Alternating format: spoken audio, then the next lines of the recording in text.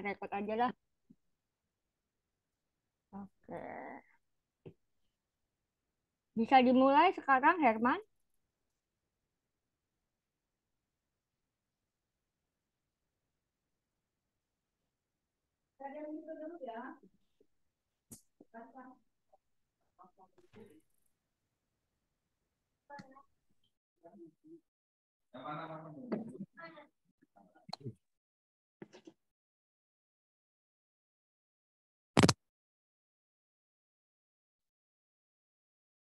Kohos tolong bantu tutup-tutupin ya. Mute dulu ya, kohos ya. Oke. Herman, halo? Ya, halo. Ya, Dimulai saya ya. ya. Ini agak gelap sih ini di sini. Nggak apa-apa. Baik. eh, Assalamualaikum warahmatullahi wabarakatuh. Eh, selamat datang di Sohbet buku eh, bulan Juni bulan Pancasila eh, apa namanya tahun ini adalah diri yang akan dirilis eh, adalah buku karya eh, Pak Iwan Suryadi Kusumah ya itu eh, terkait Islam eh, rahmat yang menjadi bencana. Eh, nah, untuk malam ini kita akan mengulas eh, buku tersebut. Eh, untuk mengefisienkan waktu, mungkin langsung eh, Ya. saya serahkan ke Seha ya, Seha Gayatri untuk eh, memandu kita pada kegiatan Sohbet Buku ini. Terima, Terima kasih. kasih. Terima kasih Saudara Herman. Assalamualaikum warahmatullahi wabarakatuh. Selamat malam kepada semua yang telah hadir pada malam ini. Eh, ini adalah kegiatan Sohbet Buku adalah kegiatan eh, diskusi buku bulanan yang diadakan oleh eh, Tarekat Sufi Daudiyah yang sejak tahun lalu itu dipimpin oleh saya. Hmm, sebelum ini kami biasanya mengadakan kegiatan sohbet antar iman. Jadi biasanya kalau di offline di darat gitu ya sebelum pandemi kami sering bertemu sekitar tiga bulan sekali atau dua bulan sekali mengundang dari komunitas agama lain dan saling uh, bertukar pikiran atau berbagi memperkaya pemahaman iman satu sama lain. Dan semenjak pandemi, uh, otomatis kami biasanya hanya semah biasa sebagai tarekat Daudiyah. Kemudian uh, tahun lalu baru saya tergerak untuk bagaimana kalau kita adakan sohbet buku. Ini adalah sohbet buku yang ketiga pada tahun ini. Uh, sohbet yang lalu pertama itu adalah buku puisi dari Sucen Martin. Kemudian yang kedua adalah satu novel mengenai petani. Kalau uh, buku puisinya Sucen itu mengenai kritikannya terhadap uh, Alkitab. Sedangkan buku novel yang di, uh, dikarang oleh Mbak Kanti itu adalah uh, tentang petani. Bagaimana ada kita memiliki uh, keinginan untuk kembali ke pertanian. Gitu. Nah, pada kesempatan kali ini adalah saya sudah lama melirik karena ini diterbitkan pada Maret yang lalu. Judul bukunya adalah Islam Rahmat yang jadi bencana. Nah, Uh, tapi sebelum saya ke sini, uh, mungkin di sini ada beberapa orang yang baru dengan komunitas kami. Jadi komunitas kami adalah Tarekat Sufi yang uh, biasa mengadakan kegiatan sema setiap biasanya ya setiap Jumat malam atau malam Sabat dan kami uh, belajar dari kitab The Beloved and I yang mana di dalam kitab itu mensyarahkan dari mulai Taurat, Zabur, Injil sampai kepada Al-Quran dalam bentuk puisi yang uh, berima dan bisa dinyanyikan dalam 150 lebih langgam di dunia. Uh, jadi kami bisa membahas buku apa pun. Jika ada yang nanti pengen request Mbak gimana kalau komunitas ini uh, bulan depan atau bulan berikutnya uh, membahas buku ini, nah silahkan tuh request kami ada ada pengarang di sini mungkin bukunya baru terbit atau udah lama terbit pun nggak apa-apa. Yang penting pengarangnya bersedia hadir bersama kami untuk didiskusikan bukunya. Nah itu dulu dari saya. Nah, uh, susunan acaranya pada malam ini setelah saya menyampaikan ini adalah saya ingin dari Pak Iwan membacakan satu atau dua halaman dari buku beliau. Apakah Pak Iwan bersedia ya membacakan satu atau dua halaman saja yang kira-kira yang paling paling ingin dibacakan lah sama Pak Iwan? Boleh, boleh. Ya, nanti setelah itu saya akan men men menjelaskan siapa Pak Iwan. Silahkan Pak Iwan. Ya, saya begitu ditanya begitu jadi ingat satu satu yang paling ini dulu deh paling ya. dasar dulu ya hmm, judulnya kalau nggak salah judulnya tuh Science dan Tuhan hmm. bentar saya cari dulu ini di halaman yang ah, bab 2 halaman 35 hmm.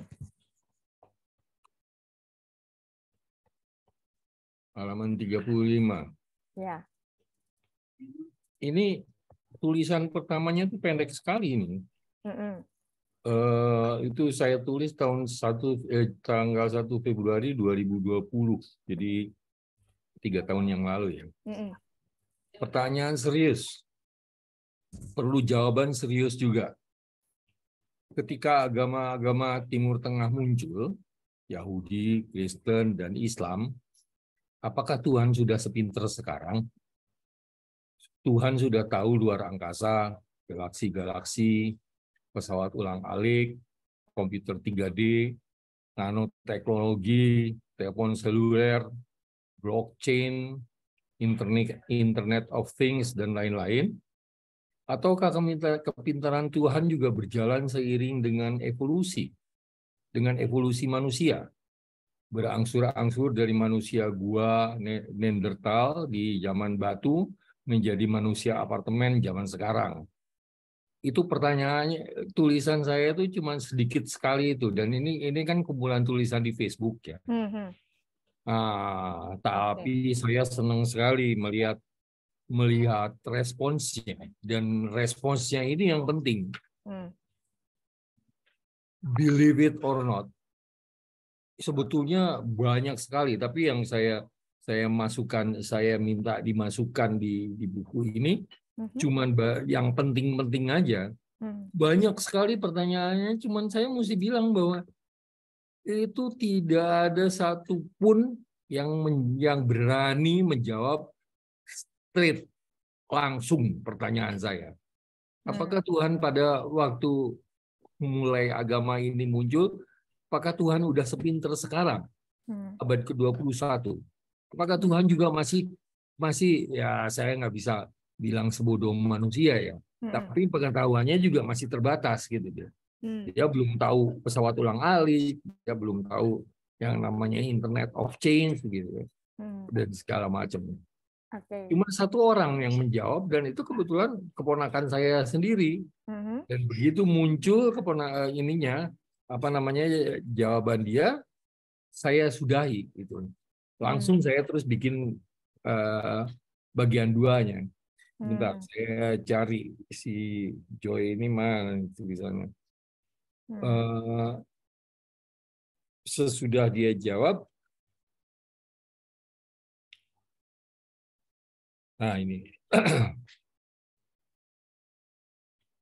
ini juga saya potong dia karena dia sebelumnya panjang sekali dia hmm. dengan dasarnya gini gini gini tapi hmm. yang saya saya muat di buku ini cuma namanya tuh Joy panggilannya Joy dia eh, tanya sudah tahu luar angkasa, galaksi-galaksi, pesawat ulang-alik, komputer 3D, mm-hmm. nanoteknologi, telepon seluler, blockchain, Internet of Things dan lain-lain? Jawab, sudah. Allah Subhanahu wa taala sudah tahu. Mm-hmm. tanya, ataukah kepintaran Tuhan juga berjalan seiring dengan evolusi manusia bla bla bla seperti yang tidak. Terus dia jawab, tidak. Ilmu Allah Subhanahu wa taala tidak berubah. Hmm. Hmm. Begitu dia jawab. Hmm. Nah, terus saya saya balas, nah jawaban tegas seperti itu yang saya sebut saya tulis di sini UA karena dia keponakan saya ya. Hmm.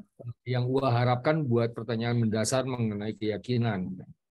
Terima kasih dari sudut pandang UA sebagai ya. Itu itu satu-satunya jawab yang saya harapkan. Nah, saya langsung kepada kepada uh, tulisan selanjutnya itu bagian duanya ya. Mm-hmm. Nah ini yang saya bacakan ya.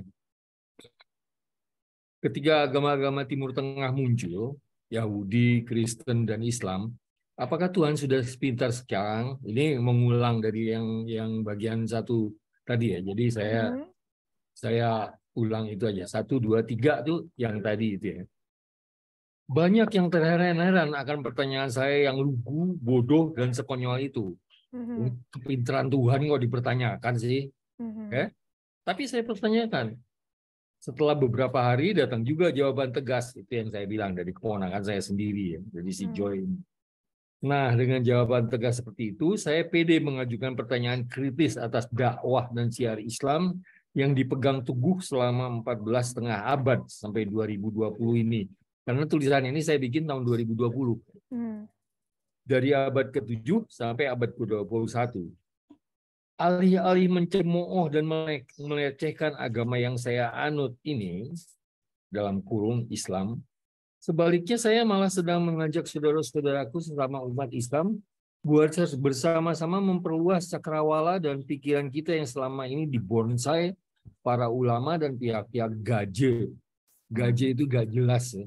Mhm. Pihak-pihak gajes melalui agama hmm Melepaskan diri dari belenggu utama ulama-ulama yang sepanjang zaman kerjanya adalah memenjarakan dan menenggelamkan kita di dalam kejumudan akibat kemalasan berpikir mereka sendiri. Ya, kemalasan ulama-ulama itu.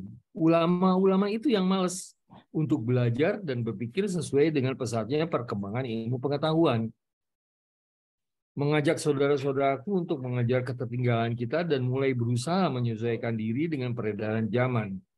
Kita mulai satu aja dengan menelaah sebuah dongeng yang diulang-ulang setiap tahun untuk mewajibkan kita menjalankan sholat lima kali sehari itu. Mm-hmm.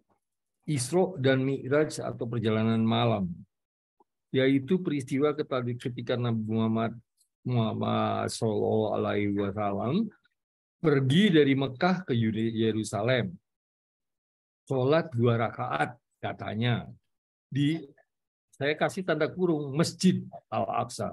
Karena banyak ustadz-ustadz itu yang mengajarkan begitu. Sholat di Masjid Al-Aqsa di Yerusalem. Hmm. Lalu naik ke surga, ketemu nabi-nabi pendahulunya. Mulai dari Adam sampai bla bla bla sampai Musa. Lalu ketemu Tuhan dapat perintah untuk mewajibkan umat Islam sholat 50 kali sehari semalam. Lalu kembali ke Mekah dalam waktu satu malam saja. Hmm. Okay. Ya, betul. Kewajiban sholat 50 kali dalam sehari semalam. Dalam perjalanan pulang, Nabi berjumpa lagi dengan Nabi Musa. Ya, Mhm. Cerita bagian yang ini nanti kita bahas di tulisan berikut. Kali ini saya bahas travelnya Nabi Muhammad uh, Nabi Muhammad eh, Sallallahu Alaihi Wasallam dulu deh. Mhm. Dalam kaitan Kang Kang, tolong dinyalain lagi Kang lampu yang ini. Kali ini cara, cara travelnya dulu deh yang kaitannya dengan kecerdasan kita-kita umat Islam yang jumlahnya 1,8 miliar pada tahun 2015. Mm-hmm. Jarak Mekah Yerusalem, Yerusalem itu 1486 km.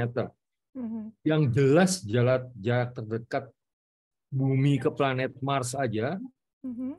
54,6 juta kilometer. Jangan lagi cerita jarak keluar dari galaksi-galaksi.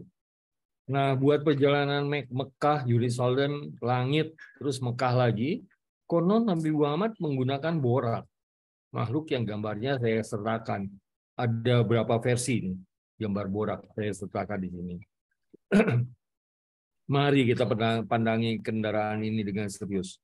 Mungkinkah binatang secantik itu mampu terbang 1486 km Mekah Yerusalem ya?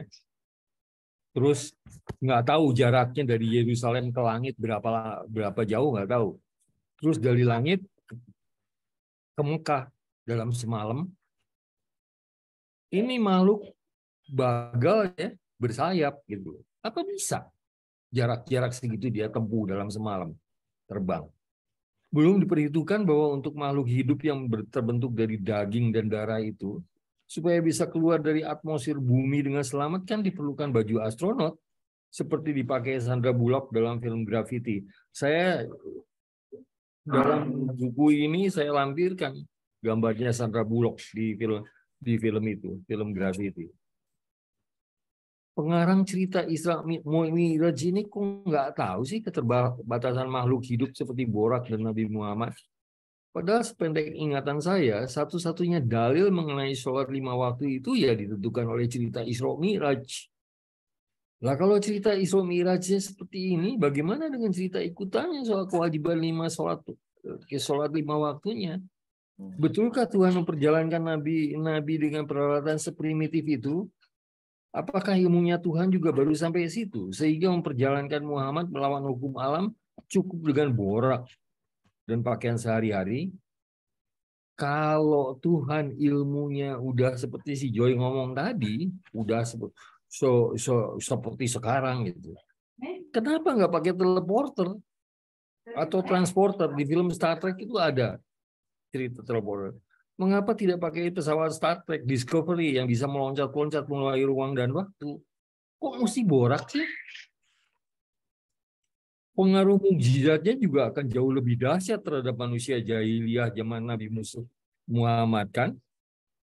Tapi yang menakjub, menakjubkan saya itu, kisah Muhammad berkendaraan borak ini masih saja diulang-ulang sampai detik ini sebagai dasar suruhan sholat lima waktu tanpa pernah mendapat sanggahan seperti tulisan saya ini dari seorang pun di antara 1,8 miliar umat manusia umat Islam di bumi nggak pernah ada yang mempertanyakan seperti saya pertanyakan begini.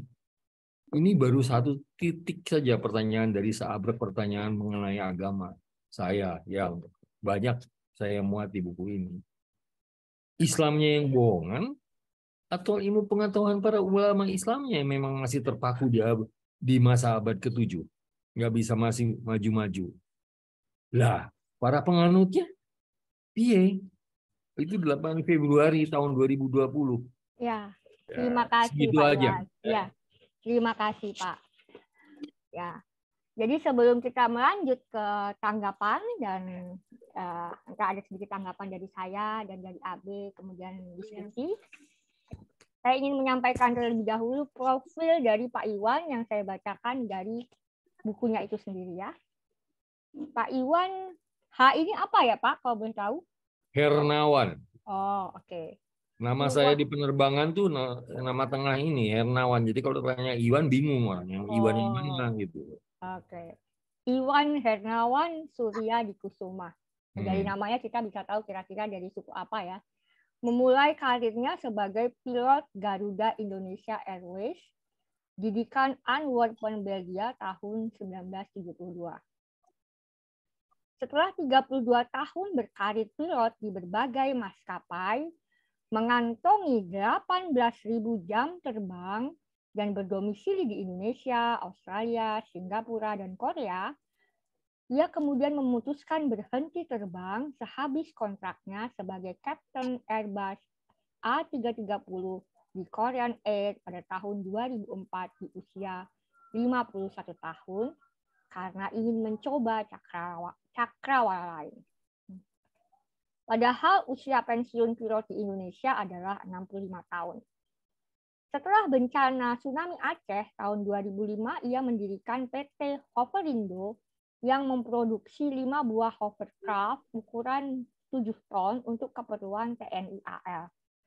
Sebagai orang tua murid di PIPLA Ishar, ia sering didaulat berbicara berbagi pengalaman parenting, terutama mengenai pengalaman menangani salah satu anaknya yang hidup dengan attention deficiency hyperactivity disorder.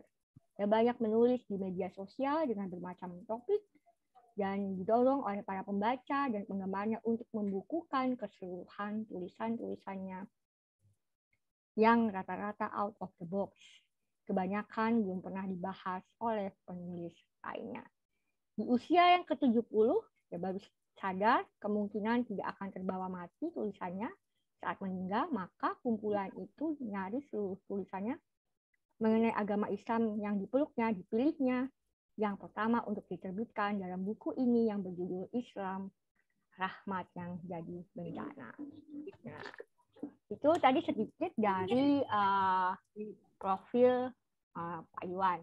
Nah, sebelum saya serahkan ke AB yang dia sudah membaca buku ini lebih lebih mendalam, Uh, sebetulnya ketika saya membaca ini sudah beberapa bulan yang lalu mungkin Pak Iwan sudah mengirim buku ini ke saya. Yang disampaikan di dalam buku ini sebetulnya bagi saya ya, mungkin karena gini, adanya algoritma Facebook itu kadang menyebabkan saya nggak dapat tulisan-tulisannya Pak Iwan gitu. Uh, sekarang itu algoritma itu kayak mhm, menghilangkan apa kalau saya nggak sering ngelek tulisan orang, akhirnya saya nggak dapat update tulisan orang itu. Jadi yang disampaikan oleh Pak Iwan ini sebetulnya sudah cukup akrab berbagai topik di sini dalam berbagai diskusi dan diskursus aktivis Islam atau aktivis mahasiswa Islam seperti waktu saya di HMI dan IMM. Saya dulu aktif di himpunan mahasiswa Islam dan Ikatan Mahasiswa Muhammadiyah. Dan mungkin Muslim seperti di grup-grup mm, media sosial yang membahas berbagai topik mengenai uh, mendekonstruksi Islam. Ya.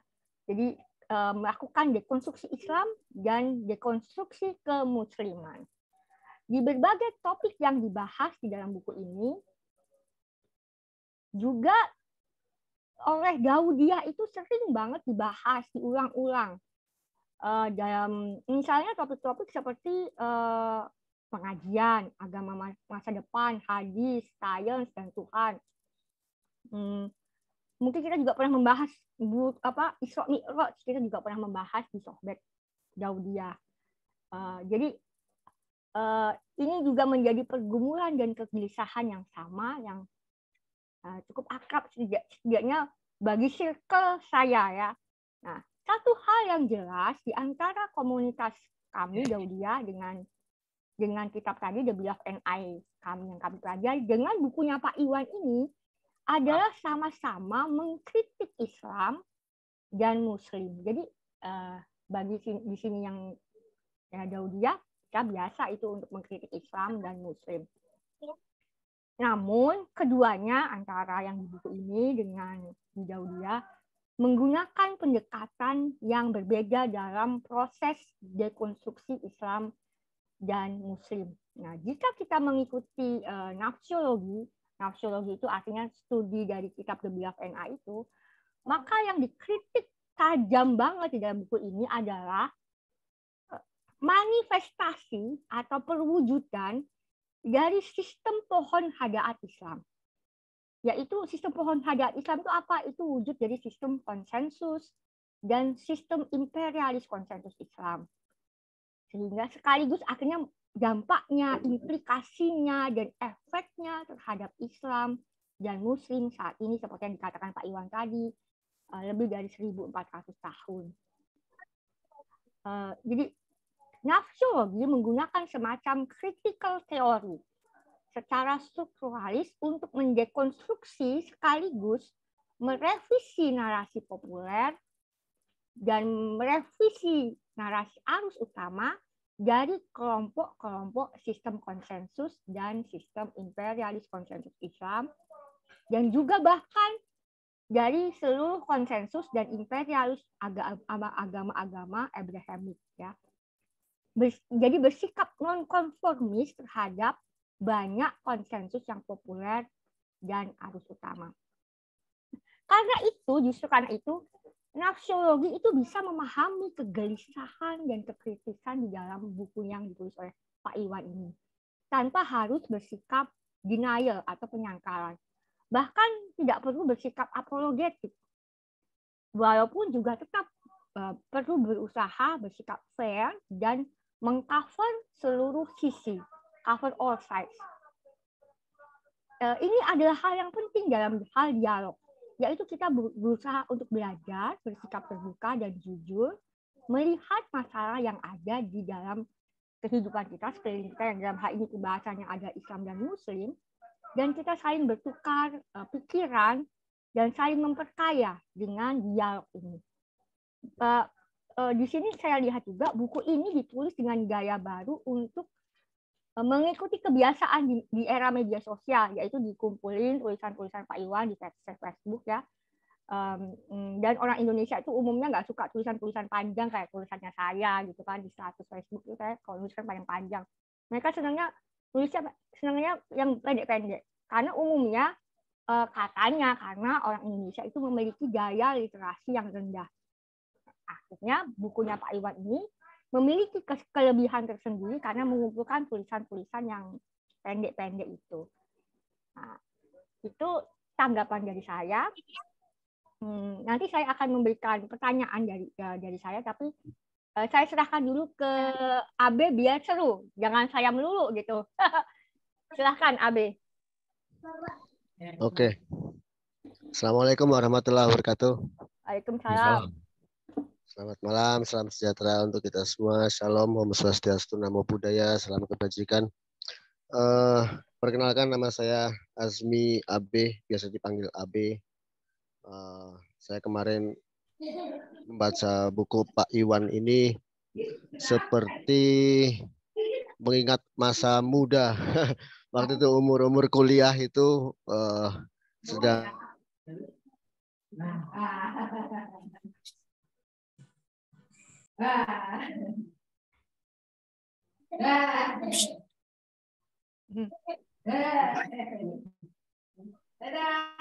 gencar di warnet apa dan sebagainya.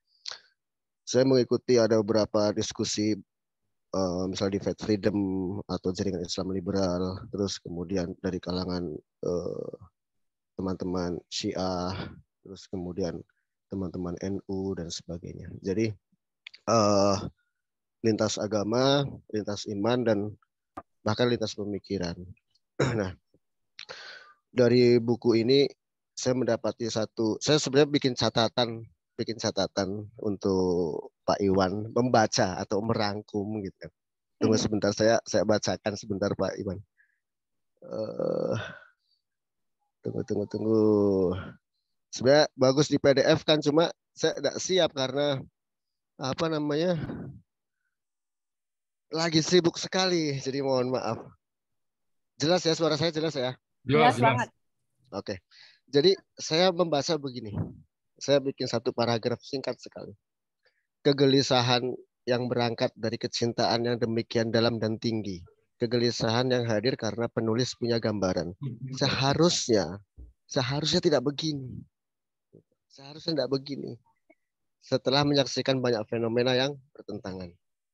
Alam fitrah penulis sebagai manusia mendesak dirinya untuk mengatakan bahwa perlakuan agama ini sudah tidak sejalan dengan fitrah manusia.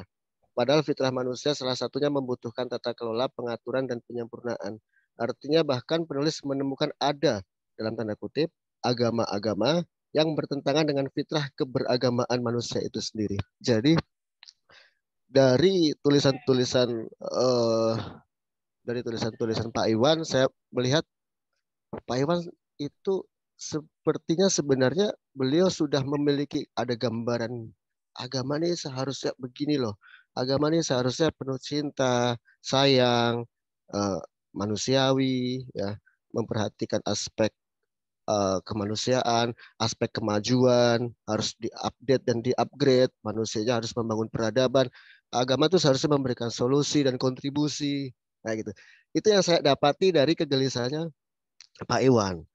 Namun eh, kalau dalam konteks kritik saya, pertama uh, saya melihat uh, kegelisahan ini seperti sangat tercampur-campur gitu Pak Iwan antara mana fenomena, mana ajaran, mana yang semestinya dan mana yang uh, banyak berlaku di masyarakat atau yang kita saksikan. Misalnya contoh begini, Pak Iwan dalam uh, bukunya sangat tidak terima ketika kok Islam wajahnya jadi radikalis gitu ya, jadi radikal dengan simbolitas ISIS yang sedemikian rupa. Nah itu, uh, beliau sangat marah dengan keberadaan ISIS yang barbar, brutal gitu. Terus kemudian uh, mereka melakukan itu semua dengan atas nama Islam, ayat-ayat, doktrin, bidadari dan seterusnya. Apakah begitu Islam? Itu itu yang dipertanyakan oleh Pak Iwan. Setahu saya Islam rahmatan lil alamin. Mestinya tidak begitu. Gitu. Tapi kemudian bagaimana saat kita menghadapi satu tekanan yang dahsyat, apakah kita juga tidak boleh angkat senjata, misalnya gitu. Tapi apakah kita juga harus berlaku seperti ISIS itu? Nah, Pak Iwan tidak terima nih kalau perwujudan uh, radikalisme itu diwujudkan dalam bentuk ISIS itu sebagai perwujudan Islam. Nah, uh, ada ada satu hal yang menarik, gitu. Ada satu hal yang menarik. Coba ingin saya juga uh, elaborasikan dengan kegelisahannya Pak Iwan. Saya sempat berpikir seperti itu juga, tapi kemudian saya mendapati fakta bahwa bahkan yang memerangi ISIS pun juga adalah umat Islam, misalnya kayak gitu. Yang memerangi ISIS pun juga rupanya menggunakan dalil-dalil agama juga. Dalam hal ini dalil agama Islam kayak gitu. Berarti di sini ada Islam yang model seperti ISIS itu Gitu. Dan ada Islam yang bertentangan atau berlawanan bahkan melawan ISIS dan menghabisi ISIS. Ada Islam yang menghancurkan satu negara, tapi ada juga Islam yang membangun satu negara. Setelah ISIS menghancurkan satu negara, terus kemudian umat Islam yang ada di sana juga akhirnya membangun negara yang sudah dihancurkan oleh ISIS itu. Jadi akhirnya ISIS tidak bisa menjadi satu representasi pada akhirnya. Radikalisme tersebut tidak bisa menjadi satu representasi. Tapi pertanyaannya adalah mana yang notabene adalah representasi Islam. Mungkin di situ. Nah, hmm. Kemudian yang kedua berkaitan dengan uh, misal perintah sholat, aspek fikih ya, perintah sholat, haji, terus kemudian puasa. Ini cukup dikritik atau cukup jadi pertanyaan dan kritikan pedas uh, di buku Pak Iwan juga gitu kan.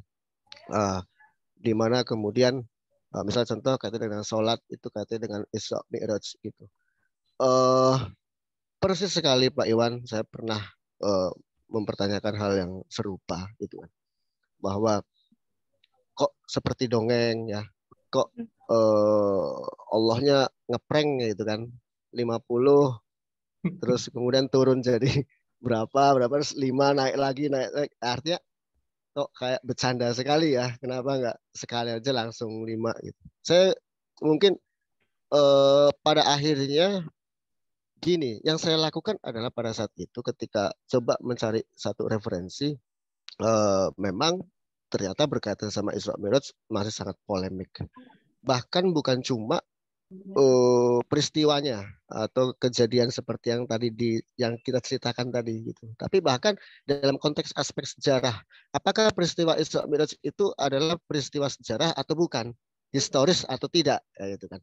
Terus kemudian uh, kalau itu historis kapan? Nah, rupanya para ulama pun juga masih berdebat. Ada yang mengatakan 17 Rabiul Awal, ada juga yang mengatakan 27 Rajab, ada uh, ada yang mengatakan uh, ini terjadi bukan cuma satu kali tapi beberapa kali. Ada lagi perdebatan tentang Isra Mi'raj ini sebenarnya peristiwa yang fisiknya Rasulullah itu juga uh, melakukan perpindahan atau hanya atau seperti teleportase gitu ya atau hanya uh, ruhaninya atau jiwanya misalnya seperti itu atau seperti perjalanan suluk lah kayak gitu. Nah sampai sekarang itu Pak Iwan setahu bacaan saya itu belum ada yang tuntas hmm. gitu. Tapi yang menarik adalah ini memperkaya. Jadi kenapa kok tidak dihapus? Gitu? Kenapa kok tidak dihilangkan saja hal-hal sifatnya polemik seperti ini? E, kita tidak bisa menghilangkan karena bagaimanapun juga ini kekayaan intelektual juga gitu. Terus kemudian ini referensial. Dan ini uh, meskipun itu adalah hadis ya atau riwayat atau hal yang kemudian datangnya belakangan ya datangnya belakangan uh, setelah dua abad dua abad uh, penulisannya ya dua hijriah itu. Uh, justru kita bersyukur Pak Iwan untung itu hadis gitu loh. Jadi bisa kita kaji bisa kita kritik bisa kita blejeti bisa kita buang kan gitu. Nah itu. Artinya uh, bisa kita tidak merasa takut berdosa, tidak merasa takut bersalah umat Islam untuk kemudian mengkritisi riwayat yang semacam itu. Karena misalnya oke okay, saya ambil dari satu perspektif logika misal perspektif yang logis. Wah ini jelas hal yang nggak masuk akal. Bahkan dalam konteks keilmuan Allah dan keilmuan Rasul itu sendiri yang sifatnya maksum yang notabene memiliki pengetahuan kok malah yang katanya adalah nabi puncaknya nabi ya bertanya ke nabi-nabi yang sebelumnya misalnya gitu.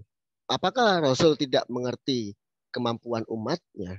Ya, sampai kemudian Nabi Musa e, menasihati umatmu tidak akan kuat, naik lagi, kurangi. Umatmu tidak akan kuat, naik lagi, kurangi, ya kan gitu. Ah gitu. Jadi tapi polemik saya malah bukan di kasusnya Pak Iwan, bukan di peristiwanya itu. Sebenarnya akan lebih menarik pada saat kita masuk di kajian ini hadis ini sebenarnya kayak gimana statusnya itu maudukah doifkah sahihkah sahihnya menurut siapa mutawatir tidak diakui oleh banyak pihak tidak dia hanya dari satu jalur misalnya gitu atau tidak gitu. ini akan lebih menarik itu itu pertama karena eh, kalau ngomongin konten eh, bisa jadi itu agak sulit. Hmm. Oke. Okay. Sepertinya ada gangguan sinyal karena Abe ya, ini. Suaranya hilang. Iya, karena ini kan dia dari Morowali, Pak. Dia ada di Morowali, jadi ya. Hmm. oh, ya. Morowali ini jadi, sering ada gangguan sinyal dan ada gangguan. Bekasi itu. Iya, oh, saya di Bogor. Delay. Oh, iya. Delay ya? Iya. Uh -uh. Delay, delay, Abe. Sudah, sudah jelas? Jelas, jelas. Jelas. Nah, sambil kita menunggu Abe, uh, mungkin uh, cek saya, cek. Oh ya, baik lagi. Ah ya. Oke. Okay. Aku persingkat deh, aku persingkat biar nanti masuk ke sesi tanya jawab. Jadi uh, Pak Iwan mungkin dua aja dulu nanti nanti saya tambah lagi. Jadi yang Isra Miraj ini terakhir jadi berkaitan sama konten bisa jadi itu juga sifatnya uh, idiomatik ya, sifatnya apa namanya? simbolis. Uh, simbolik ya. Jadi misal contoh berkaitan dengan lukisan buruk itu pun itu abad belakangan itu bahkan kalau masehinya 1500-an itu 1500 atau 1400-an itu baru muncul itu uh, dipengaruhi oleh gaya lukis-lukis daerah Persia, Iran, uh, dan seterusnya. Itu Timurid kalau nggak salah awalnya. Nah, karena memang seperti uh, dugaan Pak Iwan sendiri bahwa ini dipengaruhi oleh beberapa kisah yang serupa mirip dengan Zoroaster gitu. Jadi, uh, tapi bukan berarti itu sifatnya uh, bahwa kita nggak menggunakan satu pandangan bahwa ini agama baru ya. Islam ini memang bukan agama baru, tapi memang dia sudah memahami agama-agama sebelumnya dan bagaimana kemudian dia bisa memberikan eh, memperkaya gitu. Islam ini karakteristiknya dia memperkaya apa yang sudah ada sebelumnya. Saya seperti itu. Kalau orang bilang umumnya menyempurnakan. Kalau saya lebih suka dengan bahasa memperkaya. Hmm. Itu. Jadi eh, sehingga sangat mungkin itu kisah-kisah ini pun juga muncul dari pengaruh-pengaruh atau kisah-kisah yang sebelumnya itu sangat mungkin terus kemudian eh, sekali lagi itu bisa jadi memang berkaitan dengan hal sifatnya simbolik nanti saya akan respon lagi yang lain tapi takutnya ini mati lagi gitu ya, ini takutnya mati lagi uh, silakan ke babak berikutnya mungkin langsung ngobrol-ngobrol lagi Oke. Okay. Terima kasih. Terima kasih Pak Iwan. Ya, terima kasih uh, Abe yang sedang ada di Morowali.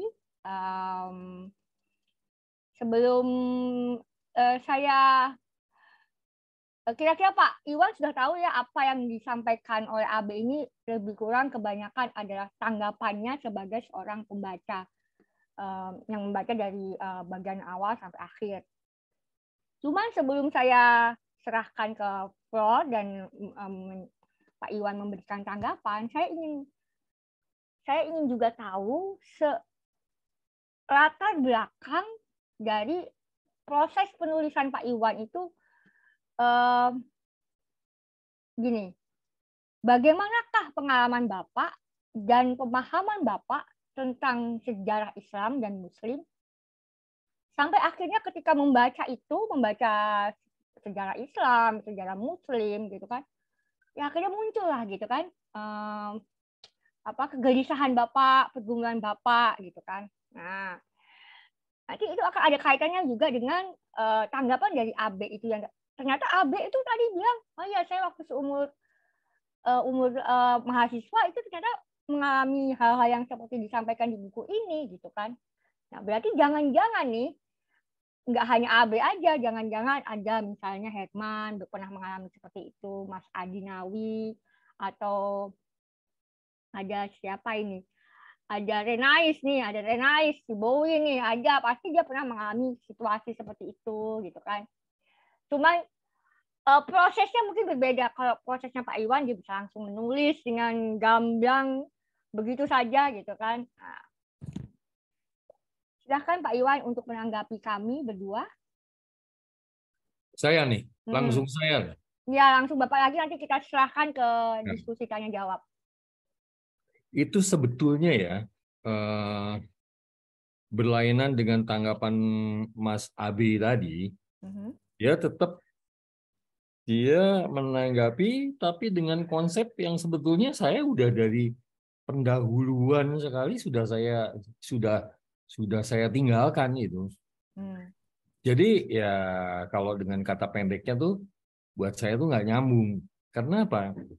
Di pendahuluan nih ya jadi halaman sesudah eh, sesudah sampul nih sesudah rahmat jadi bencana terus perancang sampul gini-gini gitu halaman berikutnya itu ya halaman satu kalau nggak salah satu Romawi eh hmm. bukan halaman lima Romawi pendahuluan Hmm.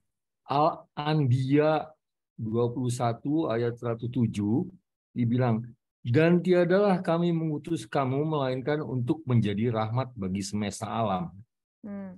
Itu loh kalimat yang saya kalimat pertama sekali di buku ini sesudah tuh kata pendahuluan itu itu.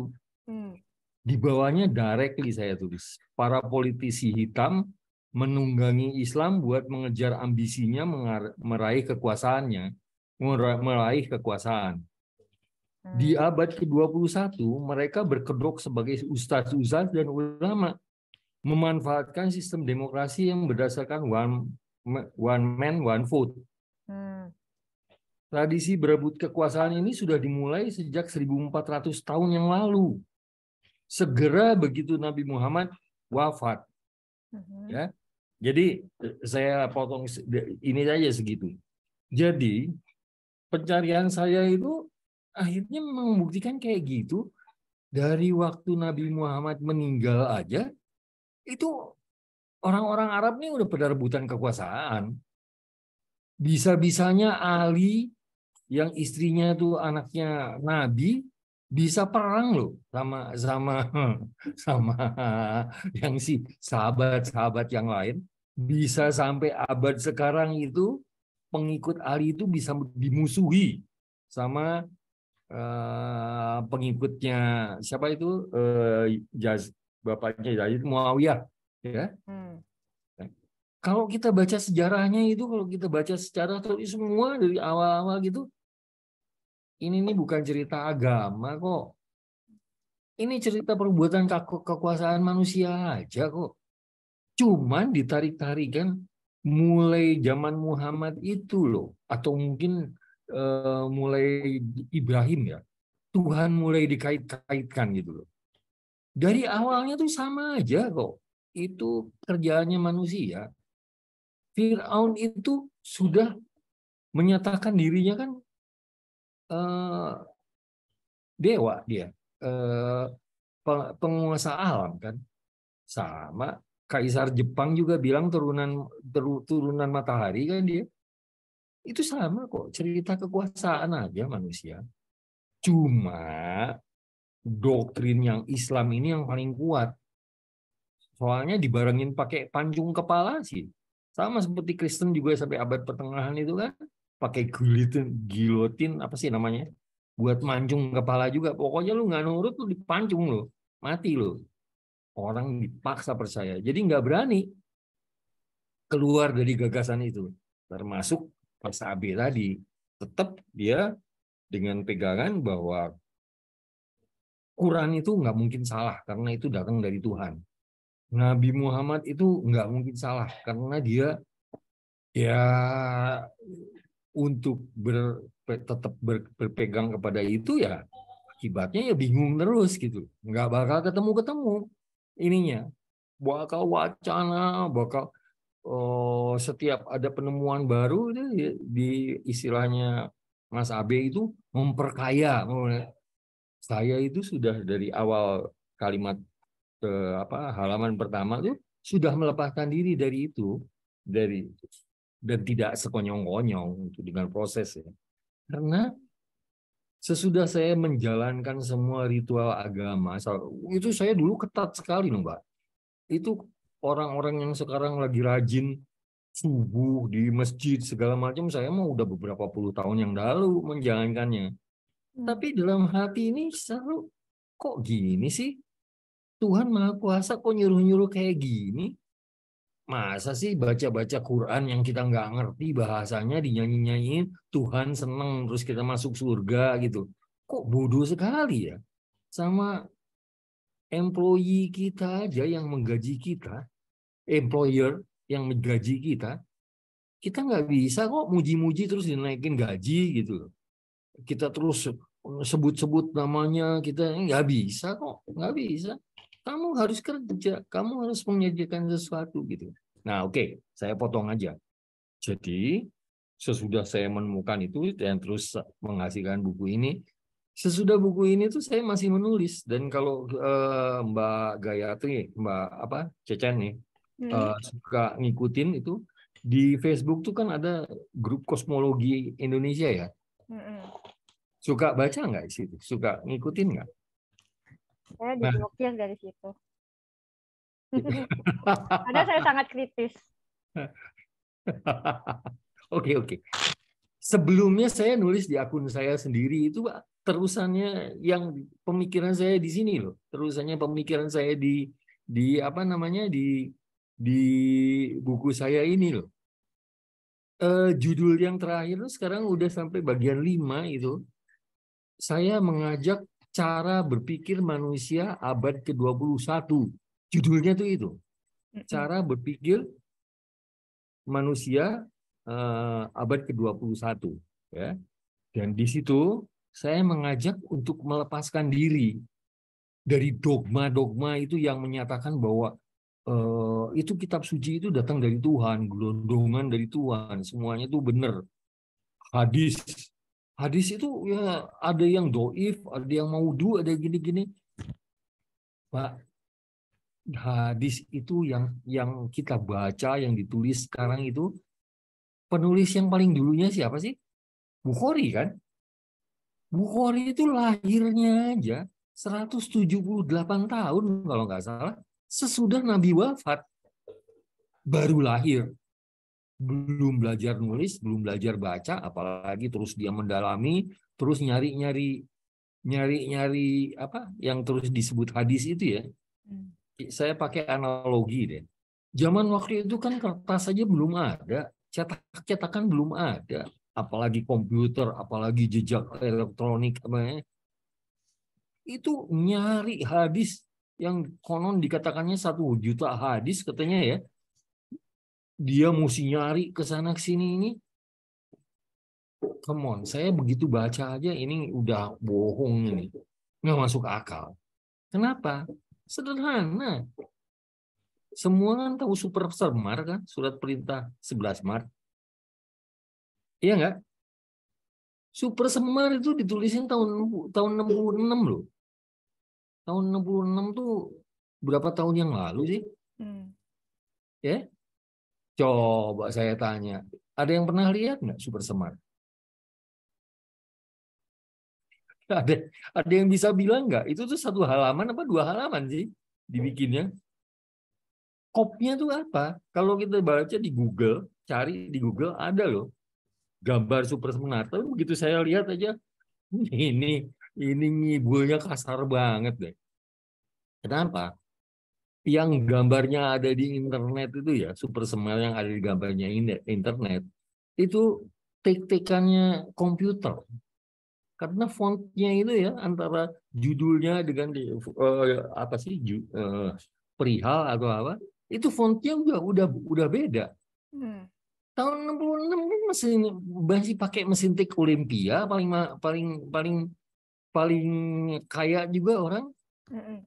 Mahasiswa ya, tahun 66 belum ada sih. Tahun sesudahnya itu paling pakai brother.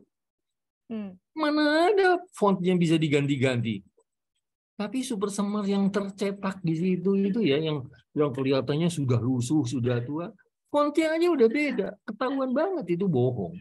Hmm. Gitu loh. Nah ini zaman Bukhari itu ya.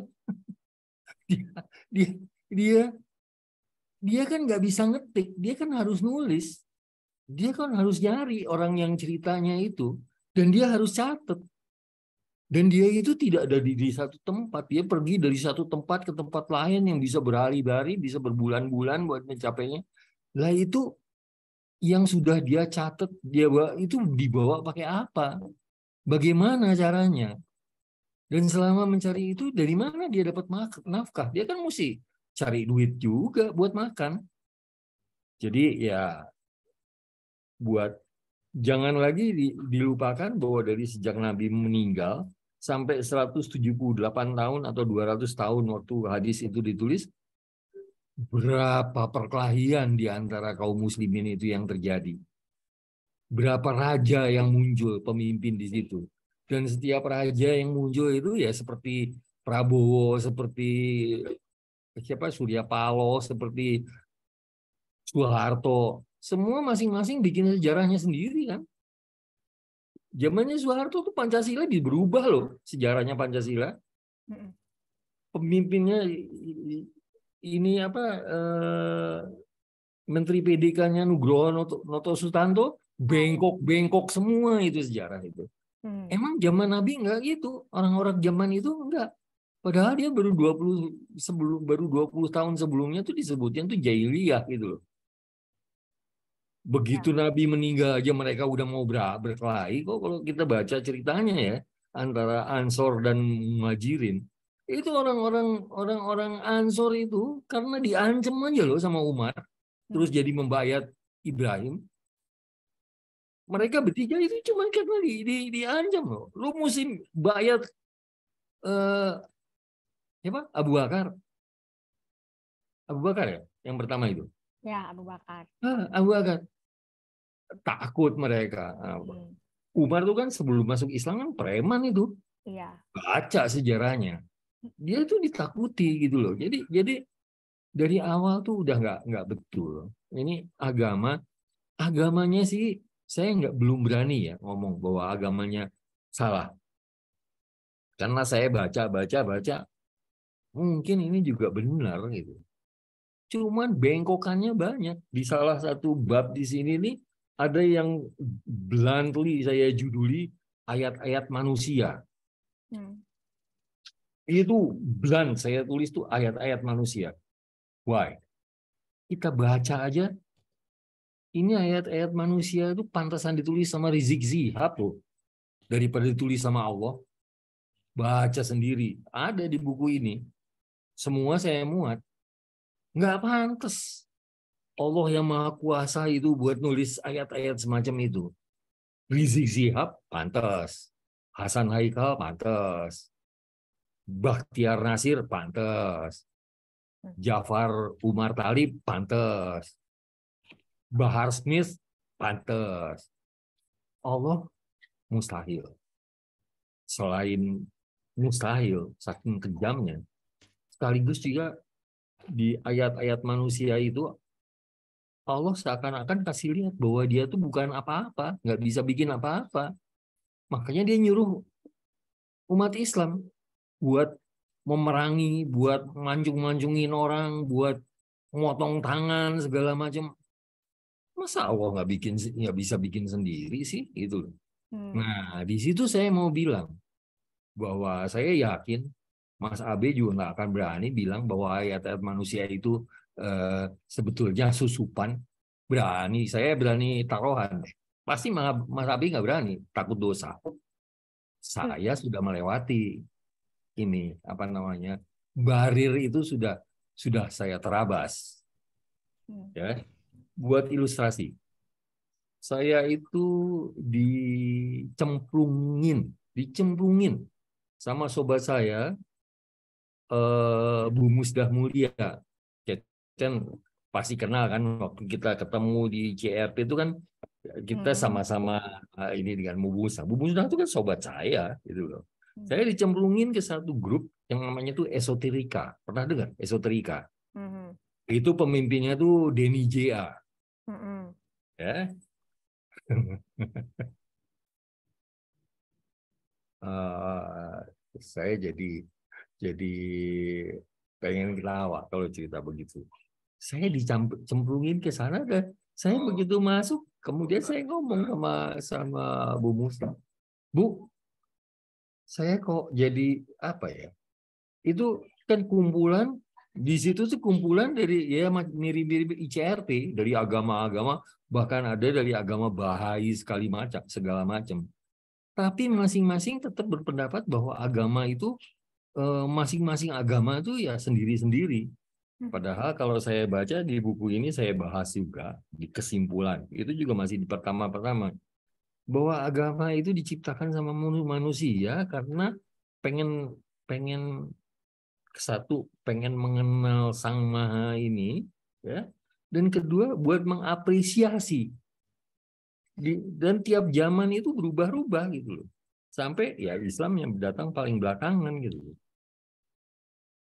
jadi ajaran-ajaran bagusnya tuh banyak, bukan banyak ya. Memang di, diciptakan buat buat ngajarin benar kok.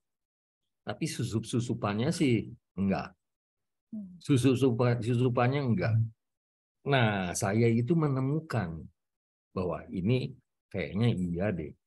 Ini pasti bukan. Hmm. Ini, wah, saya sudah berani menyebutkan itu karena itu bukan proses yang gampang kok. Saya juga dulu takut berdosa. Tapi diajakan saya buat belajar berpikir cara manusia ke abad 21, saya katakan di situ. Uh, zaman dulu kita percaya bahwa itu tuh datangnya gelondongan dari Tuhan gitu. Tapi hmm. abad ke-21 ini kalau kita mau berpikir seperti suruhan di dalam Quran itu banyak suruhan berpikir dan pakai pakai akal itu. Hmm. Kita bisa menyimpulkan kok hmm. Tuhan tidak pernah melakukan apa yang dia ancamkan di dalam Al-Quran. Coba kalau ada coba saya pengen lihat contohnya. Ya. Saya dihukum habis gini-gini, saya pengen lihat contohnya. Tapi kalau dari sejuta kasus cuma ada dua tiga yang kebetulan seperti itu, ya nggak bisa dibilang dibilang bahwa itu terjadi dong. Enggak, hmm. enggak. Ya. Tuhan menetral-netral aja kok. Tuhan tidak menurunkan musibah. Saya kasih contoh di salah tulis satu tulisan itu tuh seperti seekor singa yang menerkam kijang. Menerkam kijang, membunuh, terus uh, memakan kijangnya itu. Kalau kita tanya pakai konsep agama ya, mana yang jahat? Mana yang baik antara singa sama kijang? Hmm. Cukup jelas nggak? Kalau menurut kita kan yang membunuh, yang menerkam itu yang makan ini yang jahat kan? Kijangnya tuh kan korban gitu. Yang baik. Think again. Lah kalau singa nggak makan kijang, dia mau makan apa? Mau hidup bagaimana? Lalu kalau kijang nggak dimakan sama sama singa, beranak pinak gini-gini dia ngabisin makanannya makhluk lain dong. Iya nggak? Yang lain bakal bakal tereliminasi juga. Nah, dalam fitrahnya kayak begitu. Kalau kita mengakui Tuhan yang mengakui, yang yang menciptakan semua, Tuhan itu menciptakan dan dia menjala, me, memberikan apa ya eh, fitrahnya, aturan mainnya, aturan aturan mainnya itu seperti kalau gravitasi air mengalir ke bawah iya. gitu loh. Kan. Kalau ya, ya bangsa kayak gitu-gitu lah ya. ya. Selanjutnya itu terserah lo gitu loh. Bahwa si singa ini mau sayang-sayang sama kijang ya terserah lo gitu loh. Si singa itu mau me, me, me deklarasikan ah mulai hari ini gue mau vegan, mau vegetarian gitu. Ya boleh aja gitu loh. Kalau dia terus jadi kurang gizi, ya gitu. Jadi Tuhan itu netral sekali. Tuhan itu netral sekali. Gitu. Jadi agama-agama ini yang dianut sama semua ini, semuanya kalau kita kita dalamin dengan menjernihkan, me, apa ya, menetralkan pikiran kita, menetralkan, menetralkan. Jangan di jangan dipenuhi dengan ilmu, jangan diisi dengan dengan apa ya eh, sangkalan atau gimana. Kita akan temukan kok bahwa itu pemikiran manusia bukan pemikiran Tuhan kok. Tuhan nggak mikir begitu nah buat mau menyimpulkan coba cari tulisannya baru Spinoza ya itu filsuf zaman itu dia kurang lebih dia udah udah menggambarkan pantasnya tuh Tuhan dia kayak gitu Ya udah saya segitu dulu deh. Oke, terima kasih Pak Iwan. Uh, sebetulnya banyak yang bisa saya tanggapi dari Pak Iwan ini. Tapi kalau misalnya masalah AB itu takut dosa, saya rasa dia udah nggak takut dosa. Dia Pak Iwan belum kenal dia.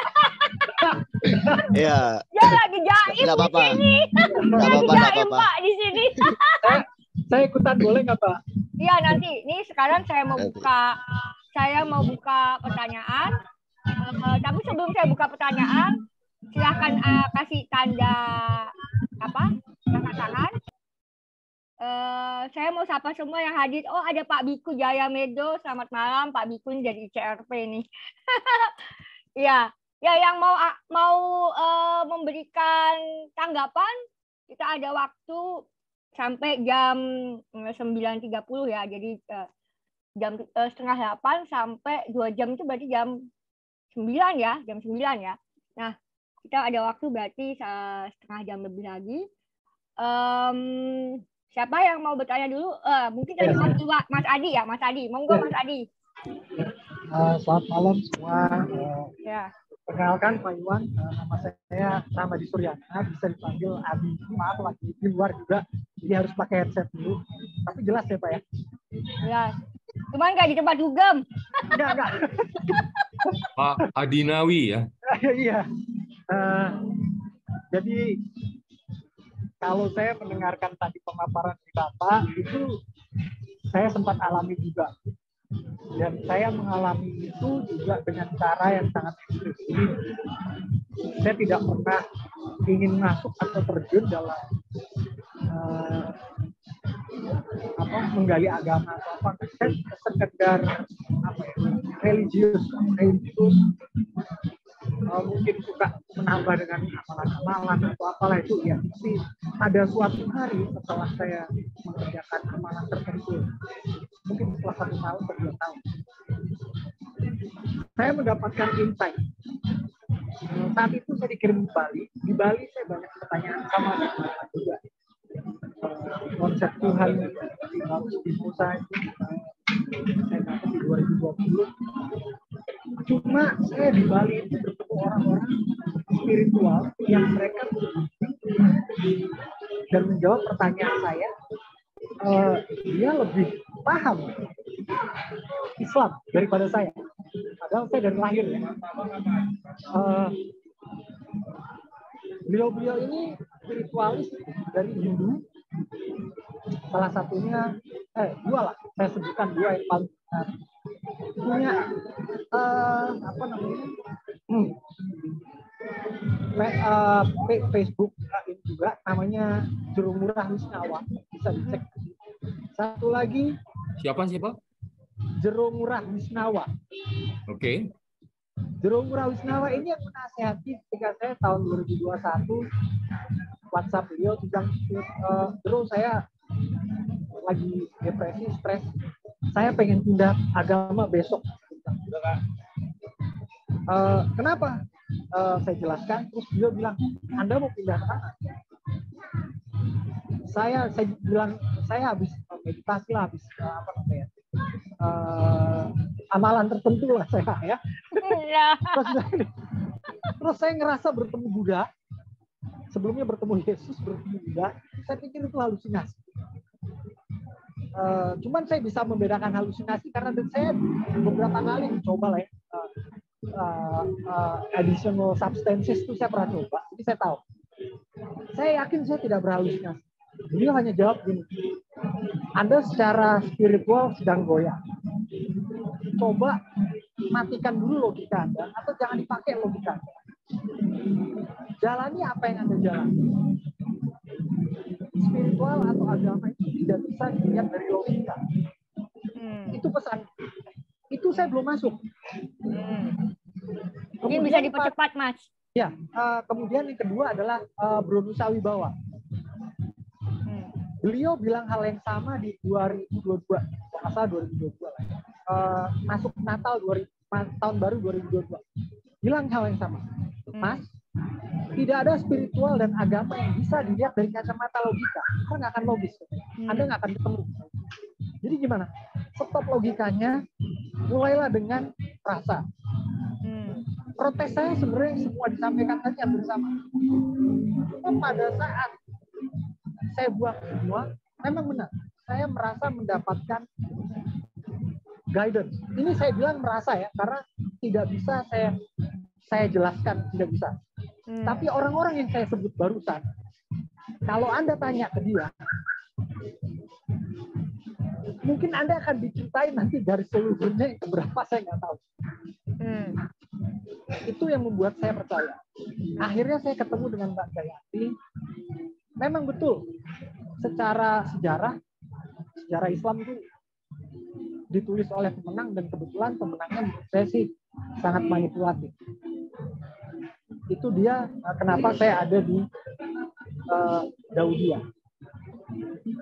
Saya tidak bisa memaparkan agama sebaik Mas Abe atau uh, Seha ya karena saya bukan ahli agama. Tapi kalau menurut saya kalau Bapak bicara agama dengan logika,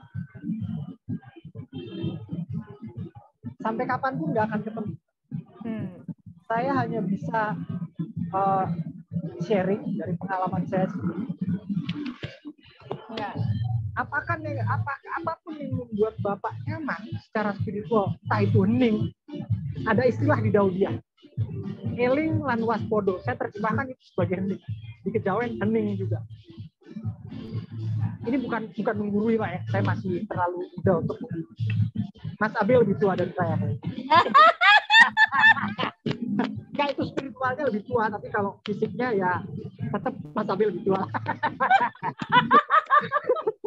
Jadi uh, saya hanya bisa bilang melihat kacamata spiritual, lihatlah dari segi spiritual. Iya. Oke, okay, terima kasih ya. Mas Adi. Terima kasih banyak untuk waktunya. Ya. Terima kasih untuk semua. Ya. Terima kasih dengan suara-suara dugem. Langsung direspon dulu aja, Mbak. Ya, monggo bisa Satu -satu dulu. dengan Pak Iwan. Kenapa? Kenapa? Saya kenapa? Adakah yang mau direspon dari Mas Adi? saya sedikit aja responnya. Uh. Ya memang terus terang, saya tidak mau me menjustifikasi, tidak mau menjudge, menghakimi, menilai apa pun yang berbeda dengan saya. Oke. Okay. Jadi kalau dilihat di dalam buku saya, buku saya dan tulisan-tulisan saya yang mana pun selalu saya bilang saya berbagi. Hmm. Jadi saya berbagi pengalaman saya. Saya bukan bukan berniat buat meyakinkan orang lain bahwa ini loh gitu. Enggak. Yeah. Saya mencari, saya temukan ini. Hmm. Dan kalau kamu juga mengalami kayak gini, lo kamu nggak sendirian loh. Saya juga sama seperti yeah. begitu gitu loh. Tapi kalau yang berbeda yang seperti Mas Adi barusan yang bicara ya, mm-hmm. bilang bahwa nggak bisa menyamburkan logika dengan spiritual. Wah itu sih sudah dari zaman zaman kuda kuda kuda gigit besi kan begitu. Selalu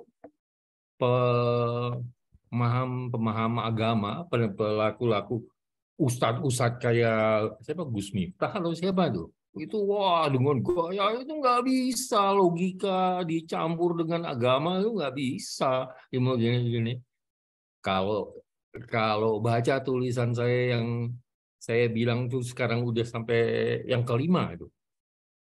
Saya ajak berpikir cara manusia abad ke-21 on the contrary saya malah mengajar mengajarkan nggak mengajarkan mengajak ini agama ini cara berpikir agama-agama ini harus direvisi. Karena itu agama-agama yang kita kita uh, warisi sekarang itu awal itu dibikin sama manusia ribuan tahun yang lalu. Secara evolusi aja kecerdasannya udah udah ketinggalan jauh sama kita kita kecerdasannya yo. Belum lagi pengetahuannya belum belum ya segala macam Sebaliknya di, di saya ajak cara berpikir cara 21 apa? Agama sudah harus diredefinisi. Tuhan itu harus diredefinisi minisi menurut pemikiran manusia abad ke-21. Jadi agama itu harus sejalan dengan sains. Agama itu harus harus supaya kitanya nggak mendua, nggak seperti Mas Adi, nggak seperti uh, Mas AB tadi yang wah itu gini-gini enggak. Harusnya tuh kita bisa beragama itu dengan dengan rileks, dengan nyaman karena sains juga menyatakan begitu kok gitu loh. Enggak ada tabrakannya sama sains. Dan ini saya bisa ngomong begini karena saya ngalamin sendiri. Lagi-lagi ini berbagi bukan ngajarin saya tuh sering ditanya sama teman-teman dekat ya, teman-teman yang cukup dekat dan cukup berani buat nanya, kalau Pak Iwan percaya Tuhan nggak sih Pak? saya tuh gak ketawa. Karena cara saya ngomong soal agama, soal Tuhan itu seakan-akan itu saya tuh menurut pandangan cara pandang mereka, saya tuh melecehkan Tuhan. On the contrary, contohnya analoginya saya dengan ayah saya aja saya dengan ayah saya itu dulu tukut ya banyak yang di, diajari di mengalami masa kecil seperti dengan ayah saya yang ngomongnya itu pakai opal rim, pakai rotan, pakai tampar, pakai makian kan. Hmm. Tapi tapi anak-anaknya itu diajarkan buat mikul dur mendem jero. Orang tuanya sejahanam itu tuh kita tuh nggak boleh ngomong jelek tentang dia, harus bagus terus gitu loh. Lah saya bukan penganut paham itu. Anak saya itu saya punya anak dua laki. Yang satu sekarang lagi nginep di sini nih. Umurnya sekarang berapa ya? 36 kali kita. Itu itu saya nggak pernah ngebentak mereka, apalagi pakai cerita mukul segala macem. Ini anak-anak yang bisa saya lagi makan itu mereka datang terus tangannya nyelongkrong ngambil makanan yang di depan di piring yang lagi saya makan gitu loh.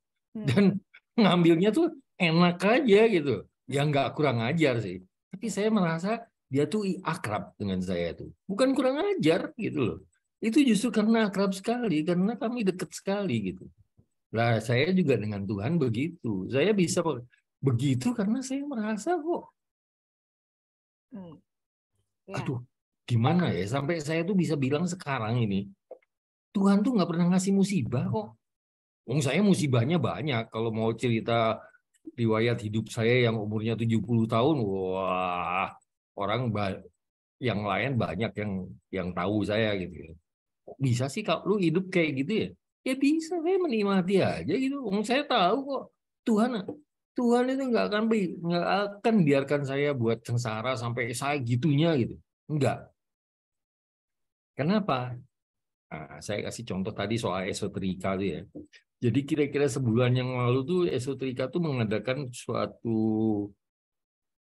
webinar kayak gini. Pembicaranya itu duta besar di Spanyol.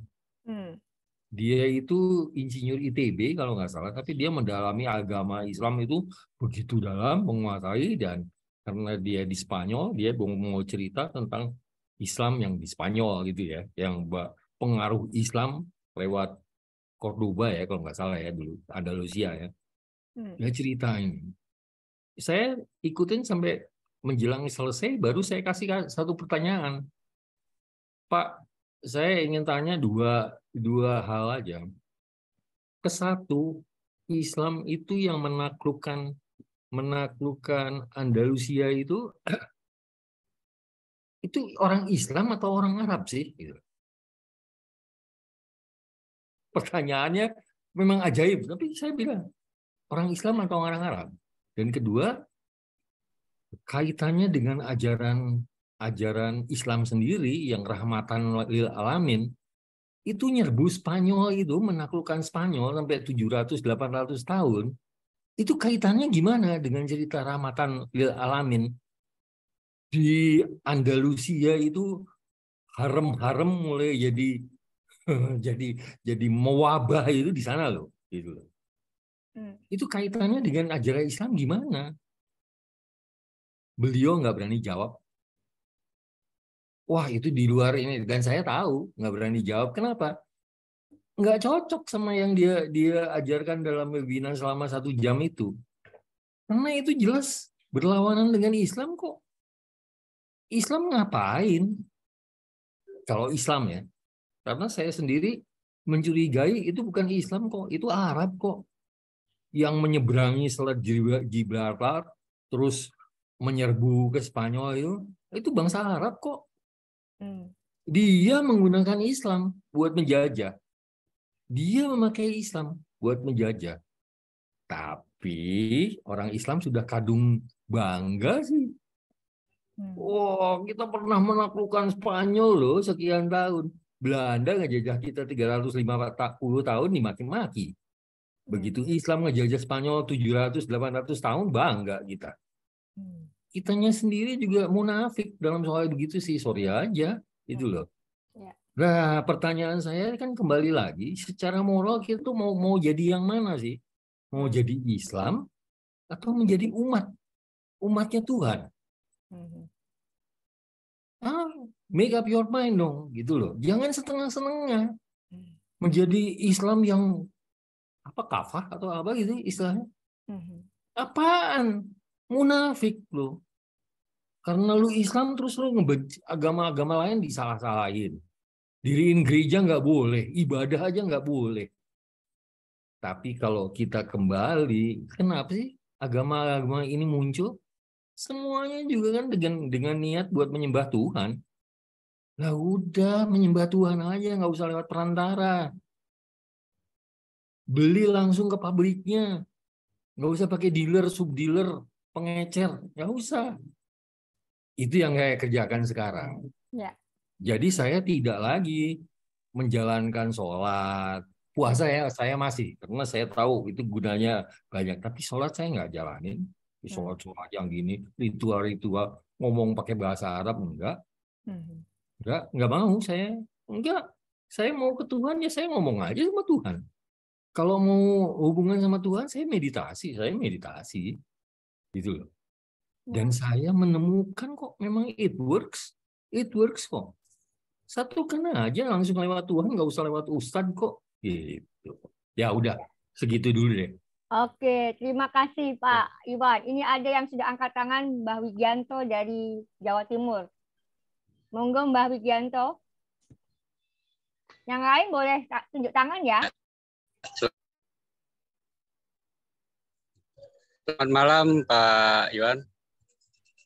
Ya maaf, saya kan memang bukan orang pendidikan Pak Iwan. Saya sekolah pun cuma sama, SD. Sama, saya juga cuma lulusan SMA, Pak. Iya, iya.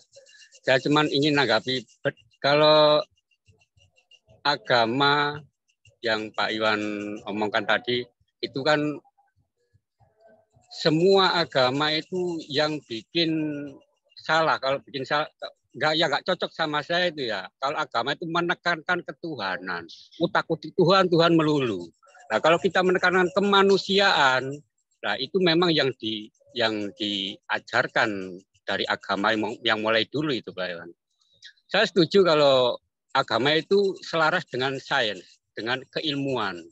Memang itu.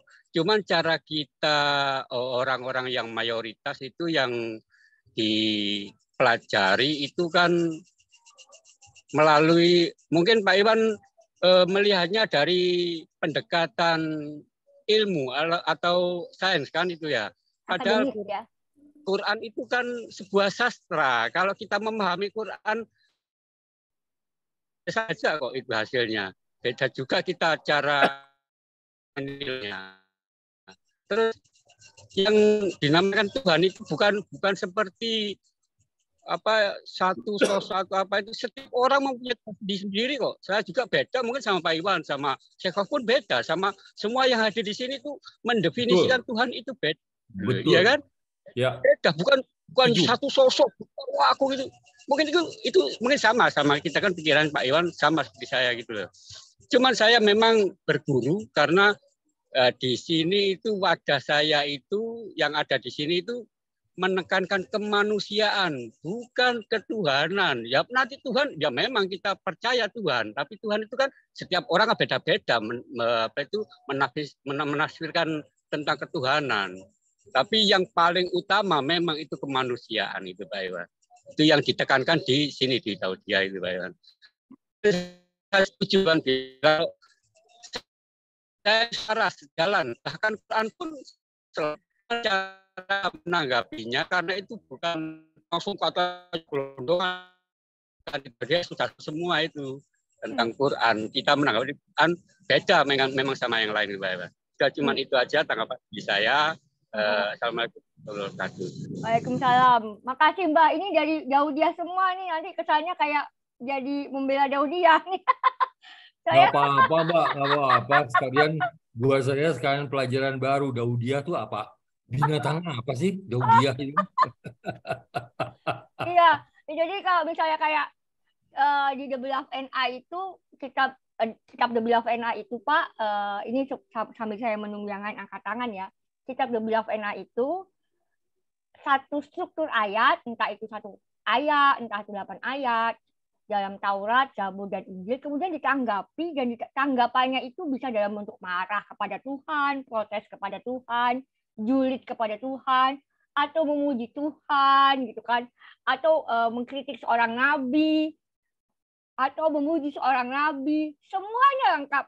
Memuji Islam, me, me, menghujat Islam, mem, mem, memuji Kristen, uh, mungkin ya uh, di sini mungkin akan ada yang bisa menyampaikan sama seperti saya tapi saya kesannya nanti membela Daudiah gitu kan atau the beloved FNI tapi ya, makanya di sini udah biasa gitu mendengar yang disampaikan oleh Pak Iwan ini bahwa apa uh, kita harus uh, melihat ke depan atau merevisi agama kita. Ini percakapan yang umum. Nah, ini kebanyakan dari dua Daudiah nih. Saya ingin okay. ada mungkin yang dari non Daudiah. Siapa tahu ada. Uh, aku ngerespon dulu. Aku okay. ngerespon dulu, boleh sebentar? Boleh, boleh. Abe. Yeah. Sambil ngerokok uh. kan? udah, udah dimatiin. Iya. Oke, Pak Iwan, uh, saya suka sekali dengan apa namanya? Uh, gini, gini, gini ini yang saya sangat menarik sekali sebenarnya dari Pak Iwan adalah uh, bahwa proses berpikir Pak Iwan ini tidak berhenti bahkan di usia sampai sekarang sudah 78 ya Pak Iwan ya. Eh, enak aja 70. Ah, oh 70, 68 ya. 68 waktu nulis buku. Masa saya sudah setua itu sih kelihatannya? sorry, sorry, sorry. Sorry, sorry. Iya, gini Pak Iwan. Jadi saya jadi ingat ada satu kisah ada satu ada dua ulama dua ulama ini uh, pada saat meninggal, eh belum meninggal ini ceritanya dia di rumah sakit, sudah mau meninggal gitu kan.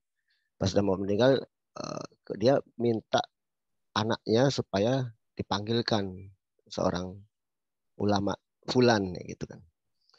Oh, kenapa? Ada satu hal yang ingin saya pertanyakan berkaitan sama fikih. Fikih ini berarti hal-hal yang berkaitan seperti sholat, uh, hal remeh-temeh lah, furuknya agama gitu ya. Bukan uh, hanya konsekuensi logis daripada kenapa beragama, bukan bukan syarat keberagamaan, itu furuk atau fikih. Nah, terus kemudian dipanggillah si ulama itu. Terus kemudian uh, datang, kemudian ternyata dia menanyakan bab uh, berkaitan sama apa namanya berkaitan sama sholat dan kemudian ada jawabannya dan si sakit ini pun tahu bahwa dia itu tidak bisa mengerjakan itu karena sudah tidak ada lagi waktunya gitu lalu kemudian si ulama bertanya kenapa kau menanyakan sesuatu atau menanyakan berkaitan sama ilmu ini? Itu berkaitan sama ilmu yang bahkan bisa jadi kau tidak ada kesempatan untuk melakukan itu. Gitu. Terus kemudian si dia menjawab bahwa uh, pada akhirnya yang dikehendaki oleh Tuhan adalah prosesnya kita. Proses berpikir proses uh, menggunakan akal kita menambah ilmu sampai bahkan di batas terakhir kita.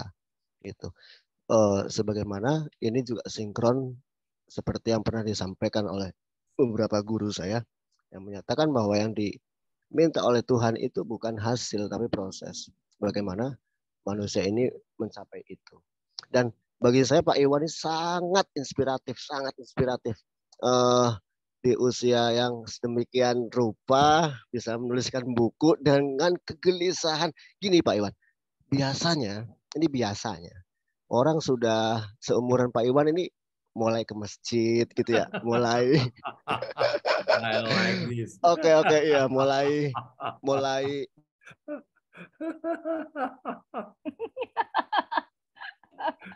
Kalau nggak salah di buku saya tuh ada Karena... judulnya pulang loh itu.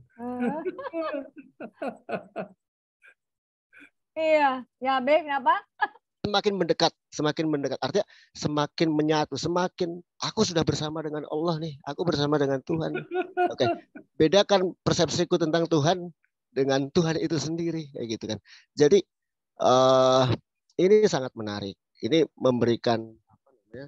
Memberikan uh, impuls ya. Jadi sebenarnya bagi saya Pak Iwan, uh, dorongan itu, kritik itu sebenarnya bukan terwujud dalam bukunya Pak Iwan, tapi sebenarnya mewujud dalam tubuhnya Pak Iwan itu sendiri, sosoknya Pak Iwan. Ini yang saya tangkap, gitu. Jadi kalau kau berharap Kembali delay. ya. bikin penasaran nih Pak Abi. Kenapa? Kenapa? Lanjut. Bikin penasaran diputus-putus gitu. Eh, syarat gini Pak Iwan ya. Ini ada saya sering-sering debat sama beberapa teman-teman yang uh, apa namanya dia sukanya cuma dengan doktrin gitu. Jadi gini, uh, dia bilang kau mengenal Allah dari mana? dari Al-Quran. Al-Quran dari siapa? Dari Allah. Jadi Allah dulu atau Al-Quran dulu? Itu saya tanyakan. Nah, ya gimana? Ah, itu itu namanya falasi. Itu itu logika falasi saya bilang. Itu namanya daur. Itu circular falasi itu, circular betul, falasi. Betul kalau dalam bahasa ininya daur. Itu nggak mungkin kita akan menemukan kebenaran kalau seperti itu modelnya. Akhirnya saya bilang, saya bisa menemukan Tuhan tanpa menggunakan ayat saya bilang tapi menggunakan akal sehat saya saya bilang itu nah, jadi uh, dan kebetulan saya juga menemukan satu uh, yang menariknya begini Pak Iwan yang menariknya adalah ternyata uh, saya menemukan uh, tokoh Islam yang tadi Bapak sebut juga namanya Ali bin Abi Thalib itu Ali bin Abi Thalib ternyata juga sudah pernah menuliskan itu dia tidak mengutip ayat sama sekali. Ali gitu. bin Abi Thalib itu cerdas loh Pak. Luar biasa. Nah Betul, ini Pak. Saya saya coba bacakan ya Pak ya. Ini di Najul Balahu ini keren sekali. Jadi beliau mengatakan begini. pangkal agama ialah makrifat tentang dia. Dia nggak sebut siapa nih dianya nih. Pangkal agama ialah makrifat tentang dia. Kesempurnaan makrifat atau pengetahuan tentang Lanjut, gile. Bikin penasaran terus nih. Abi ini didenda mesti ya tiap putus gini denda. Karena setiap sifat merupakan bukti bahwa sifat itu kepadanya hal itu disifatkan. Dan setiap sesuatu yang kepadanya sesuatu disifatkan berbeda dengan sifat itu. Maka barang siapa melekatkan suatu sifat kepada Allah, berarti ia mengakui keserupaannya dan barang siapa mengakui keserupaannya, maka ia memandangnya dua. Dan barang siapa memandangnya dua, mengakui bagian-bagiannya. Dan barang siapa mengakui bagian-bagian baginya, berarti dia tidak mengenalnya. Dan barang siapa tidak mengenalnya, maka ia menunjuknya. Dan barang siapa menunjuknya, berarti ia mengakui batas-batas baginya. Dan barang siapa mengakui batas-batas baginya, berarti ia mengatakan jumlahnya. Barang siapa mengatakan dalam apa ia berada, berarti ia berpendapat bahwa ia bertempat. Dan barang siapa mengatakan di atas apa ia berada, maka ia beranggapan bahwa ia tidak berada di atas sesuatu lainnya. Ia maujud, tetapi tidak melalui fenomena muncul menjadi ada. Ia ada, tetapi bukan dari sesuatu yang tak ada. Ia bersama segala sesuatu, tetapi tidak dalam kedekatan fisik. Ia berbeda dari segala sesuatu, tetapi bukan dalam keterpisahan fisik. Ia berbuat tetapi tanpa konotasi gerakan dan alat. Ia melihat sekalipun tak ada dari ciptaannya yang dilihat.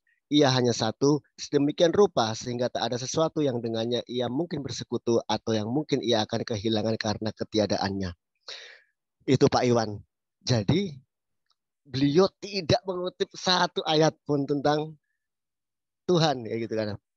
Terus kemudian uh, ini sangat agnostik ya gitu loh ini sangat agnostik gitu.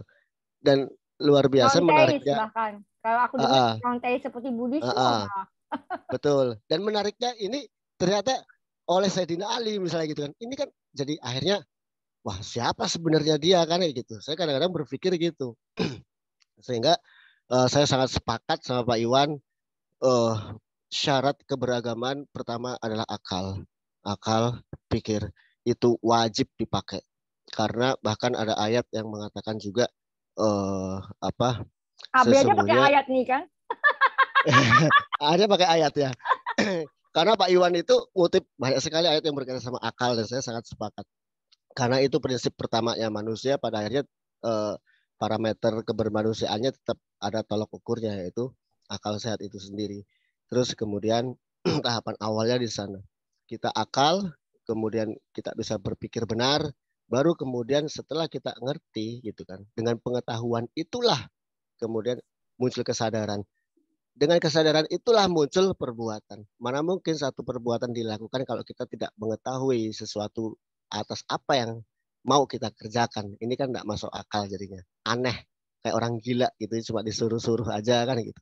Gitu Nah, kemudian fase berikutnya baru kita bicara dengan kesadaran itu kita bicara tentang spiritualitas. Nah, spiritualitas ini juga akhirnya juga berkaitan dengan pengalaman. Nah, pengalaman-pengalaman seperti yang dialami Pak Iwan ini banyak banyak sekali sudah beliau itu kaya sekali dan uh, saya menunggu seandainya ada buku lagi Pak Iwan yang menceritakan pengalaman-pengalaman ini Pak Iwan, pengalaman-pengalaman hidup yang menurut Pak Iwan itu memberikan pengaruh terhadap kehidupan Bapak. Nah, itu keren Pak, asik. Mungkin itu. Terima kasih. Uh, Oke, okay, terima kasih. Ya, saya ini ingin ada gitu loh ya, satu atau dua dari non Daudia yang hadir pada malam ini. Bisakah? Atau saya tunjuk aja kali ya, kalau malu-malu ada Pak Dibio tuh saya baca tuh tuh pilot juga tuh tapi dia pasti bukan Daudiah tuh. Tembak aja iya. Atau uh, Renais deh Renais. Bowie nih biasanya ada. Bowie Renais. Halo Renais. Nggak ada. Halo Renais. Ya. Nggak ada ini Renais. Ke mana ini dia Biasanya ada dia rame berisik ini dia. Itu Pak Biku, Biku. Iya, atau Pak Biku ada tanggapan mungkin? Biasanya ini saya terima kasih Pak Biku datang nih dari ICRP nih, teman ICRP. Tuh ada Pak Rudi juga tuh, tembakannya dia suruh ngomong. Oh iya, monggo Pak. Ini Pak siapa? Kecelakaan yang merenggut nyawa pengendara sepeda motor bernama Moses Bagus Wakil Direktur ya? Laya, AKBP Doni Hermawan. Halo Pak Biku. saksi ahli. Halo, selamat malam semuanya selamat sudah malam. kontak ini. Iya, terima kasih sudah hadir di acara kami, Biku. Ya, besok agak telat sedikit tadi itu. Iya. Bicarakan Pak Iwan keresahan-keresahan itu ya sama dengan keresahan saya. Tos dulu, Pak. Tos dulu, Pak. Mantap, mantap. Saya kan dulunya juga Muslim. Iya. Tetapi ayah saya memang Muslim, tapi lebih mengarah kepada kejawen. Hmm. Dan uh, beliau sampai wafat pun tidak mau sholat. Bingung juga saya itu. Hmm. ya, saya memang keresahannya juga hampir sama tadi mengenai Isra Mi'raj itu. Oh. Begitu saya tanyakan sama guru agama, marah-marah dia. Oh. Oh. Tiap kali tanya yang sesuatu yang yang agak berbeda dengan logika, memang menjadi marah-marah sehingga apa? Ya buat saya tidak menimbulkan simpati. Hmm. Kalau saya tidak menimbulkan simpati, ya saya coba cari yang lain. Hmm. Dan uh, kebetulan memang kalau uh, saya juga tidak punya kenalan agama Buddha, tidak punya kenal umat Buddha, tidak pernah tahu Buddha. Tetapi ya kembali kalau cara Islam itu kehendak Allah Subhanahu wa taala bahwa saya uh, piknik menuju ke Borobudur dan bisa menemukan Buddhisme ada di situ dan berusaha mencari guru yang bisa mengajarkan. Memang di dalam Buddhisme dilakukan uh, memberitahu bahwa kalau mau belajar dharma ya harus pakai logika dulu. Hmm. Do not merely believe itu yang dikatakan oleh uh, Sang Buddha. Do not merely believe. Jangan hanya percaya saja omongan orang, kata orang banyak. Bahkan apa pun yang ditulis di kitab suci, jangan hanya percaya saja. Termasuk apa yang dikatakan Buddha, do not merely believe. Karena itu harus lakukan check and recheck. Hmm kriteria yang pertama memang itu logis, yang kedua adalah tidak bertentangan selaras dengan peri kemanusiaan. Hmm. Bahwa ketuhanan itu dipakai selaras dengan ketuhanan. Hmm. Yaitu untuk apa? Kebaikan, kebajikan, ketenangan, kedamaian. Itu dulu yang harus menjadi bagian. Nah, karena itulah maka Buddhism itu lebih humanistik sebenarnya di mana Ibu tadi sudah mengatakan apa Buddhism is agnostis. Ya tidak tidak agnostis juga Sang Buddha tidak pernah membicarakan tidak membicarakan mengenai sosok itu. Buat saya memang pada waktu saya masih di Muslim eh, bahwa Tuhan mempunyai dua sifat yang yang kontradiktif antara yang maha pengasih penyayang tetapi dia pencemburu, pemarah, pengutuk dan sebagainya. Itu kok membuat saya itu terhenyak waktu itu. Tetapi pada waktu sudah menjadi Buddhis, loh Buddha sendiri aja tidak pernah marah, tidak membenci, tidak cemburu. Kemudian uh, tidak menghendaki uh, siswanya itu melakukan violence. Masa Tuhan itu lebih rendah daripada Buddha? That is impossible. Tidak mungkin. Buddha manusia biasa aja tidak mempunyai perilaku yang negatif. Kok Tuhan yang katakan serba maha, kok mempunyai dua sifat. Nah, baru belakangan saya tahu ajaran-ajaran yang dari Mekah dan dari yang uh, satu dari Medina itu. Jadi itu sesuatu yang logis. Karena itu Buddhism itu sukar dimengerti sehingga terjadi tuduhan-tuduhan bagi kelompok-kelompok yang bertuhan seakan-akan Buddhism itu tidak bertuhan. Tapi ternyata memang Tuhan itu ya ya tan kena kinoyong opo. Begitu diucapkan, begitu diuraikan, begitu digambarkan, itu pasti salah. Pasti bukan Tuhan, pasti bukan Tuhan. Ya, seperti yang disampaikan di Ngajul Bayogoh tadi ya, pas. Dan itu yang saya alami pada waktu saya memimpin eh, masih muda sekali pada waktu itu eh, dipanggil oleh Dirjen untuk menjelaskan mengenai ketuhanan dalam agama Buddha Theravada. Gitu. Hmm. Kalau itu yang menentukan nanti boleh atau tidaknya. Eh, lah saya terangkan menurut ajaran Buddha disamakan dengan ajaran Jawa yang lebih humanistik begitu. Akhirnya Dirjen mengatakan, ah, sudah silahkan loh. Bapak kan dulu kan belajar dari uh, University of uh, Benares. Hmm. Mengatakan, kenapa tidak membela kami pada waktu itu perselisihan mengenai ketuhanan dalam agama Buddha. Dia hanya menjawab, loh saya kan dirjen. Waduh, sudah mengerti saya. Hmm. Sesungguhnya pengertiannya sama. Karena itu mengapa di dalam Buddhism tidak terlalu tidak dibicarakan mengenai soal Tuhannya itu. Tapi ketuhanannya yang dibicarakan. Hmm. Yaitu love and compassion. Hmm. Dan tidak jangan sekali-kali menggunakan uh, kekerasan. Meskipun umatnya sering menggunakan kekerasan untuk apa? Kepentingan politik. Bagaimana sama-sama budanya Theravada, Myanmar atau Burma dengan Thailand itu serba perang terus-menerus. Sampai kota Ayutthaya yang penuh dengan wihara-wihara patung Buddha dihancurkan semua.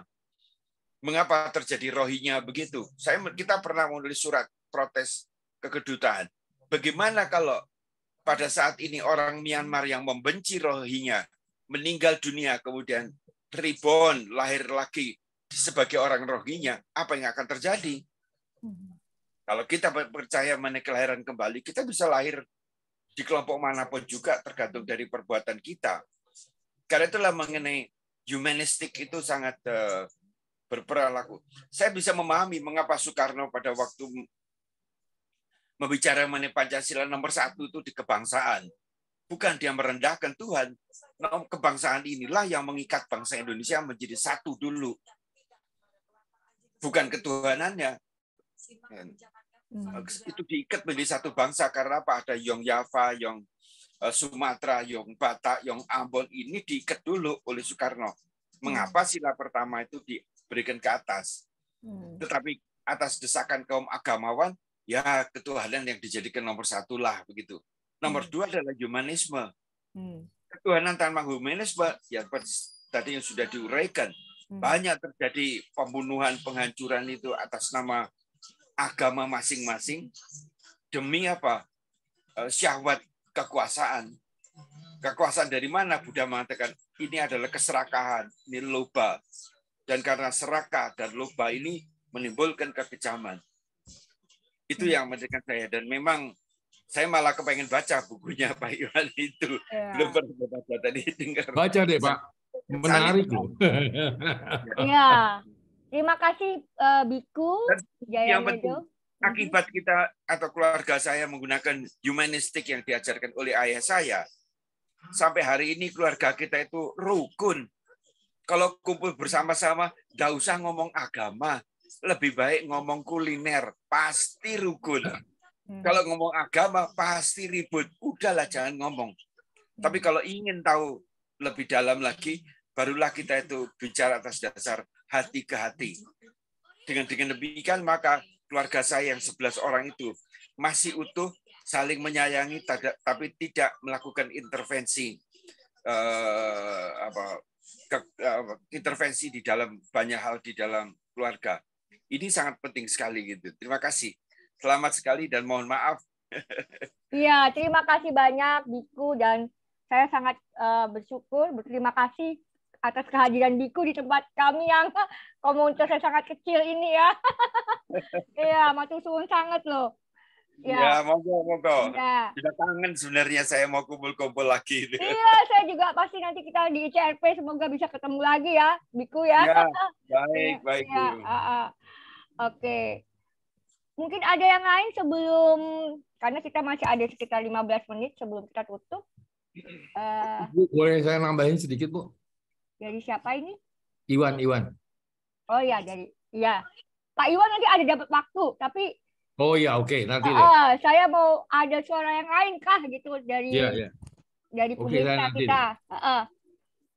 Adakah siapa? Kalau nggak ada, langsung ke Pak Iwan nih.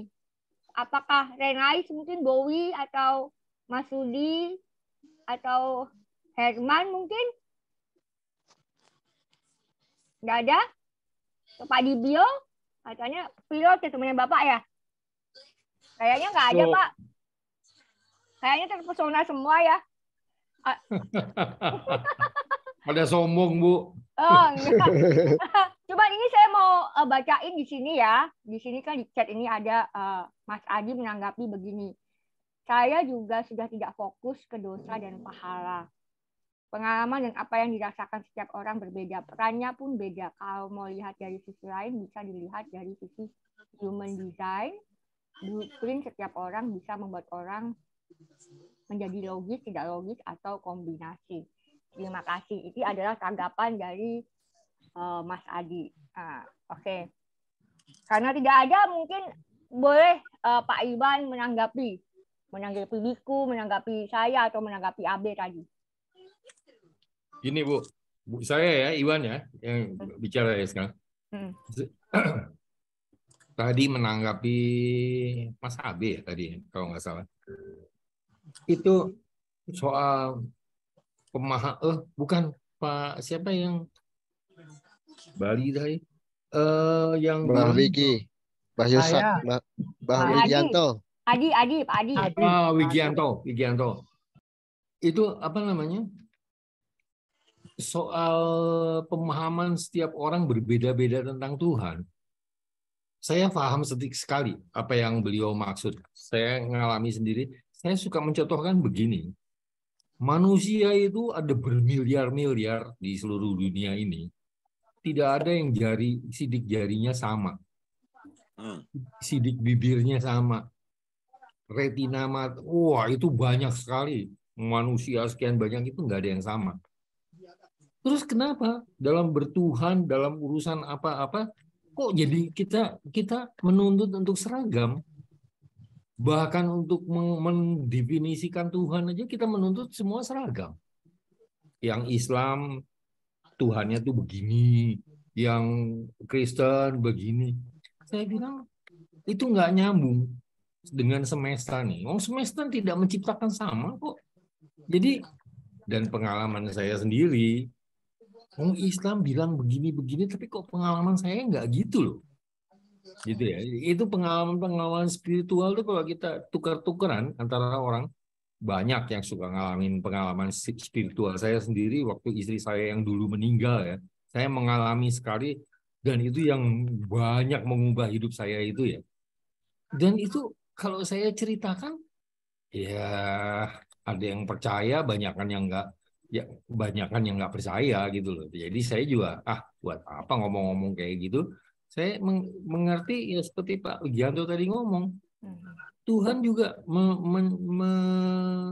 mewujudkan dirinya atau memperlihatkan dirinya kepada setiap orang itu beda kok. Mustahil bisa sama itu gitu loh. Ya itu sidik bibir, sidik jari, terus segala macam di dalam satu tubuh manusia itu nggak ada yang sama dari sekian miliar itu. Hmm. Yang kembar identik pun nggak sama. Hmm. Gitu loh. Bagaimana kita menuntut buat melihat Tuhan yang sama gitu. Jadi itu paham-paham aja. Tapi satu hal yang saya mau ngomong tuh begini. Tendensi manusia itu kayaknya dari abad zaman dulu ya, itu kan mencari Tuhan. Tuhannya itu satu. Bukan mencari agama loh. Sekarang itu di kumpulan-kumpulan mana pun seperti Mbak Cecen tadi bilang Daudia, Daudia gitu ya. Hmm. Saya tuh suka ketawa aja gitu loh. Kok, nggak pernah merasa belongs to any group gitu loh. Kalau terutama soal ini ya, soal agama ya. Hmm. Nggak pernah. Saya tuh punya teman yang Syiah, yang Sunni itu banyak sekali. Saudara-saudara saya tuh tokoh-tokoh Syiah banyak. Dan biasa setiap setiap tokoh itu kan selalu mencoba menarik apa ya ke ininya jadi kalau ke saya tuh, saya suka ketawa, halo, hmm. Neng, Kang Iwan mah Islamnya Islam titik. Hmm. Islam titik, nggak pakai Islam Sunni, nggak pakai Islam Muhammadiyah, nggak pakai NU, saya mah Islam titik. Uh, kalaupun saya mau ngikut, ya Islamnya Nabi Muhammad deh. Nabi Muhammad mazhabnya apa sih? Gitu. Ya, jadi selesai dengan begitu tuh ya orang juga cuman ketawa aja mau ngapain coba sama saya. Wong tiap-tiap ada kelemahannya, tiap-tiap ada ada kebohongannya gitu. Ya bohong-bohongnya saya kan nggak nggak ikutin gitu loh. Soal sholat itu yang paling penting. Di mana-mana itu udah jangan banyak tanya, udah ngerjain belum? Justru sebaliknya. itu Isra Mi'raj itu makanya saya ini kan penting sekali. Menurut akal dan pikiran saya sudah mempelajari sedemikian banyak itu buah pasti bukan kerjanya Nabi Muhammad. Itu bukan kerjaan Nabi Muhammad. Isra Mi'raj itu mungkin sudah berapa ratus tahun kemudian baru muncul. Kenapa? Sholat lima waktu itu apel kok. Zamannya zamannya awal-awal Islam itu kan kerjanya pemimpin dibunuh sama rakyatnya melulu. Dari mulai Ali, eh dari mulai siapa? Uh, Umar, Utsman, Ali, itu tiga khalifah pertama itu dibunuh semua sama, sama rakyatnya sendiri loh itu. Oke, di bawah-bawahnya ya jelas banyak khalifah-khalifah yang di di ini. Jadi akhirnya ini nggak tahu yang keberapa tuh khalifah menyadari ini nih di keliling gue ini banyak pengkhianat nih, banyak konspirator nih. Ini kontrolnya gimana? Ya wajibkan aja sholat lima kali sehari. Waktunya segini-gini diatur supaya orang itu nggak bisa mempersiapkan pemberontakan gitu loh. Dan itu kita ngalamin sendiri kok waktu Mei 98 itu ya. Itu di Kopassus tuh sehari tuh bisa 3 4 kali loh itu apel. Hmm. Apa coba? Buat ngontrol anak buahnya Prabowo. Prabowo aja udah jadi pangkostrat, tapi kan anak buahnya yang di Kopassus itu masih segabrek yang setia sama dia. Dibikin jam jam pagi apel, jam satu apel, jam tiga apel lagi, malam apel lagi. Kenapa? Supaya nggak sih nggak nggak punya waktu buat mempersiapkan diri. Dan saya mah me, lewat akal dan pikiran, saya menyimpulkan itu loh sebetulnya. Makanya doktrinnya itu itu kewajiban yang nggak boleh ditinggalkan sekarang penguasa-penguasa sekarang ya bukan penguasa lah takmir masjid segala macam seneng anak buahnya. Punya anak buah banyak masjidnya selalu penuh. Tapi dulu dulunya nggak gitu. Dulu dulunya nggak gitu. Dulu dulunya itu siapa yang nggak sholat berjamaah di masjid ah, mulai dicurigai nih ini masih loyal nggak sama gue nih? Gitu loh jadi itu, itu yang menyebabkan saya ini kalau saya pagi jam 4 kan saya jalan, itu jam 4 tuh waktunya orang-orang ke masjid. Mereka kelihatan wajahnya tuh heran gitu. Wong saya dulu rajin kok sholat. Ini sekarang saya rajin kalau jam 4 tuh jalan pagi. Karena saya kalau itu kalau saya menemukan dan yakin itu suruhan Tuhan, saya pasti akan jalankan. Tapi karena sudah pelajari, saya yakin itu suruhan manusia. No way. Kagak deh. Kagak. Gue nggak mau nurut sama pemimpin yang zaman itu ya untuk kepentingannya dia bikin begini ya enggak lah nanti di akhirat saya ditanya sama Tuhan lah itu lu sholat sholat lima waktu tuh ngikutin siapa itu siapa yang kamu udah selidiki sendiri bukan bukan gue yang nyuruh diketawain gitu kan asin. Saya mau nyalain siapa? Ya itu, itu saya mau nambahin itu aja. Hmm. Terima kasih. Terima kasih. Ya, akhirnya kita uh, sampai ke penutup acara. Uh, saya berterima kasih atas semua yang hadir pada malam hari ini. Mungkin di sini uh, saya juga bisa ya memberikan beberapa tanggapan, seperti misalnya mengenai apakah itu Islam? Di sini kan judulnya ada Islam rahmat yang jadi bencana. Nah, dalam salah satu tulisan saya, saya membagi Islam itu dalam empat jenis, empat kategori pengertian. Yang pertama Islam yang diajarkan, yang ditransmisikan, yang dipraktekkan oleh Nabi Muhammad dan para muridnya. Para murid ya di sini bukan uh, di sini saya tidak menggunakan istilah yang uh, konsensus atau populer bahwa itu adalah pengikut atau sahabat. Nah, ini murid. Dan murid dari muridnya murid. Nah, berkelanjutan seperti itu yang pengertian yang pertama. Kemudian pengertian yang kedua adalah Islam yang uh, mula-mulanya itu muncul pada masa Sakifah menjadi satu gerakan politik, ya kan? Jadilah pemerintahan yang di, di kemudian hari disebut sebagai Khulafa uh, Arsidin, ya kan?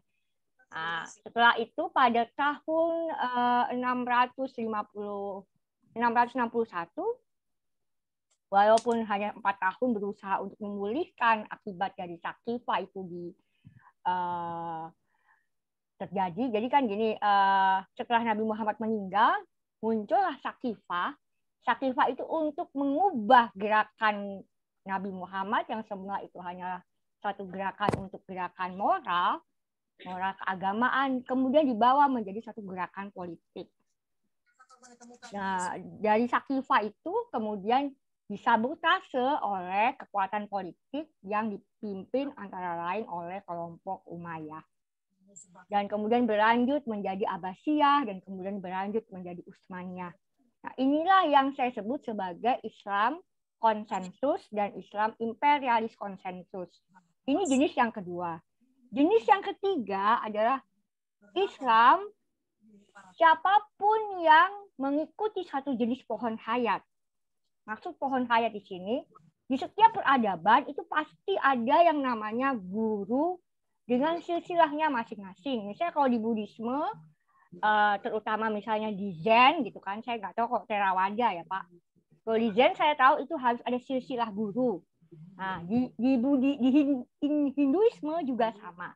Nah, di dalam Islam itu juga ada kelompok yang namanya Sufisme itu punya guru. Berkelanjutan seperti itu. Di Afrika juga ada, di uh, Amerika Selatan, Amerika Utara juga ada atau di kelompok-kelompok pedalaman. Uh, di mana di situ masih ter, uh, kuat tradisi tuturnya. Itu pohon hayat yang betul-betul lebih kepada kemanusiaan, kepada kemakhlukan. Jadi di situ sifatnya taslim, eh, berserah diri atau menyerahkan diri dengan Tuhan. Nah, itu Islam yang kedua. Islam yang keempat ini mungkin yang seperti Pak Iwan ini. Walaupun Pak Iwan mungkin nggak ikut pohon hayat yang mana pun, eh, tapi Pak Iwan eh, atau siapa pun yang agnostik atau siapa pun yang ateis, dia berusaha untuk menjalankan nilai-nilai kemanusiaan dan kehidupan sebetulnya itu sudah berislam. Nah, sayangnya yang dimaksudkan Islam pada hari ini hanya yang kedua saja. Kalau kamu tidak masuk yang kedua, kamu dianggap sebagai kafir. Nah, jauh dia tidak pernah mau ikut yang kedua, maka jauh dia itu kafir, sesat, murtad, liberal dan lain sebagainya dan seterusnya seterusnya. Nah, itu. Uh, yang ketiga yang ketiga kalau mau mau disebut Islam harus masuk dulu yang Islam. Pak Biku itu kalau mau disebut Muslim harus masuk Islam dulu harus baca syahadat gitu kan. Padahal uh, kalau saya membaca di, kitab The Bill of NI, Taurat, Zabur, Injil dan Al-Quran dan Al-Quran itu sendiri sebagai suatu karya sastra saya tidak peduli apakah itu sastra yang langsung diturunkan dari atas ke, dari atas langit ke bawah atau merupakan ciptaan manusia, tetapi itu tetaplah satu bentuk karya sastra. Karya sastra itu tidak bisa didekati dengan satu pendekatan saintifik yang sangat empiris. Dia harus didekati dengan akal sehat sekaligus dengan rosso. Dan ini tidak bisa bersifat dualis, tapi harus bersifat, bersifat non-dualis. Tidak bisa dikotomi biner, hitam putih, eh, baik buruk itu berlawanan, tidak bisa seperti itu. Nah, itu yang uh, saya lihat mungkin itu bisa menjadi satu uh, cara kita melihat apakah betul Islam itu uh, bisa menjadi bencana atau tetap bisa menjadi rahmat. Dan mungkin di sini bisa saya tanggapi juga mengenai kok di dalam Al-Quran itu atau mungkin di dalam Alkitab itu ada ayat-ayat mengenai kekerasan, uh, apa seolah-olah Tuhan itu jahat, menyuruh pembunuhan dan lain sebagainya. Kalau di dalam pendekatan The Bill of NI, dari awal itu diberi satu uh, kronologi bahwa ada arketipe iman manusia. Arketipe iman manusia itu ada yang seperti Kabil atau Kain. Kain itu dia ingin melenyapkan manusia yang lain demi dunia yang lebih baik. Itulah yang dikritik oleh kita semua di sini, terutama di dalam bukunya Pak Iwan, mengkritik orang-orang yang hanya ingin melenyapkan manusia yang lain yang tidak disebut Islam, karena tidak Islam, yang nomor dua, maka uh, perlu dilenyapkan jadilah Islam yang apalah khilafah atau apa dan lain sebagainya itu. Nah, itu iman Kain. Kemudian ada iman Abel. Iman Abel dia itu percaya kepada memberikan persembahan kepada Tuhan, mengharap lidah Tuhan, tetapi dia sangat pasifis. Nah, ini sangat pasifis sehingga dia itu kemudian ditindas, dia kemudian dibunuh oleh Kain. Tetapi the beloved and I memberikan bentuk iman yang ketiga yaitu iman set. Iman set dia dia tidak percaya kepada Tuhan itu perlu disenang-senangkan. Orang kita sudah jadi manusia kok ngapain Tuhan itu disenangkan? Tuhan itu nggak perlu betul seperti yang disampaikan oleh Pak Iwan. Kita itu nggak perlu sholat untuk menyenangkan Tuhan. Kita itu tidak perlu puasa untuk menyenangkan Tuhan. Ini diajarin loh Pak di Daudia begini. Sesatkan ya Pak ya Daudia ya. nah, uh, apa tidak kita tidak perlu semua itu. Uh, tetapi kita kalau menghadapi ketidakadilan, kalau kita menghadapi penindasan, maka kita boleh untuk melawan kalau kita punya kapasitas itu. Dan ada satu, mm, karena saya sarjana sejarah, jadi ada satu perbedaan uh, latar belakang dari lahirnya Buddhisme dengan lahirnya Islam atau lahirnya agama-agama Abrahamik. Lahirnya agama-agama Abraham itu sebetulnya ada upaya untuk melawan Sumeria, Babilonia, Akadia, Assyria, uh, Mesir gitu kan penjajahan kekaisaran yang luas. Tetapi kemudian setelah itu uh, misalnya ajaran Ibrahim itu uh, menjadi menarik di agama rakyat mereka menjadi agama populer maka kemudian diambil alih disabotase oleh kekaisaran itu sendiri. Itulah yang terjadi di peristiwa Sakifa dan di peristiwa 661 Masehi setelah Imam Ali atau Sayyidina Ali meninggal dan Hasan itu kemudian direbut oleh Muawiyah. Itu pendekatan yang lain untuk melihat uh, sejarah Islam. Mungkin pun yang umum adalah pendekatan wah Islam itu saling berbunuh-bunuhan. Tapi kalau pendekatan yang saya lihat, kalau melihat itu adalah kekerasan itu terpaksa dilakukan sama seperti kita ketika harus melakukan perlawanan terhadap sekutu pada tahun 45 hingga 49. Dan di dalam chaos itu ada yang namanya masa bersiap yang sangat-sangat mengerikan. Kalau pernah baca sejarah, masa bersiap itu sangat mengerikan. Uh, apa uh, orang Belanda dibunuh-bunuhi misalnya kayak gitu. Pokoknya sangat mengerikan lah. Orang-orang pro Belanda itu sangat dibunuh-bunuh. Enggak pernah kan kita belajar itu di, di buku sejarah kita gitu.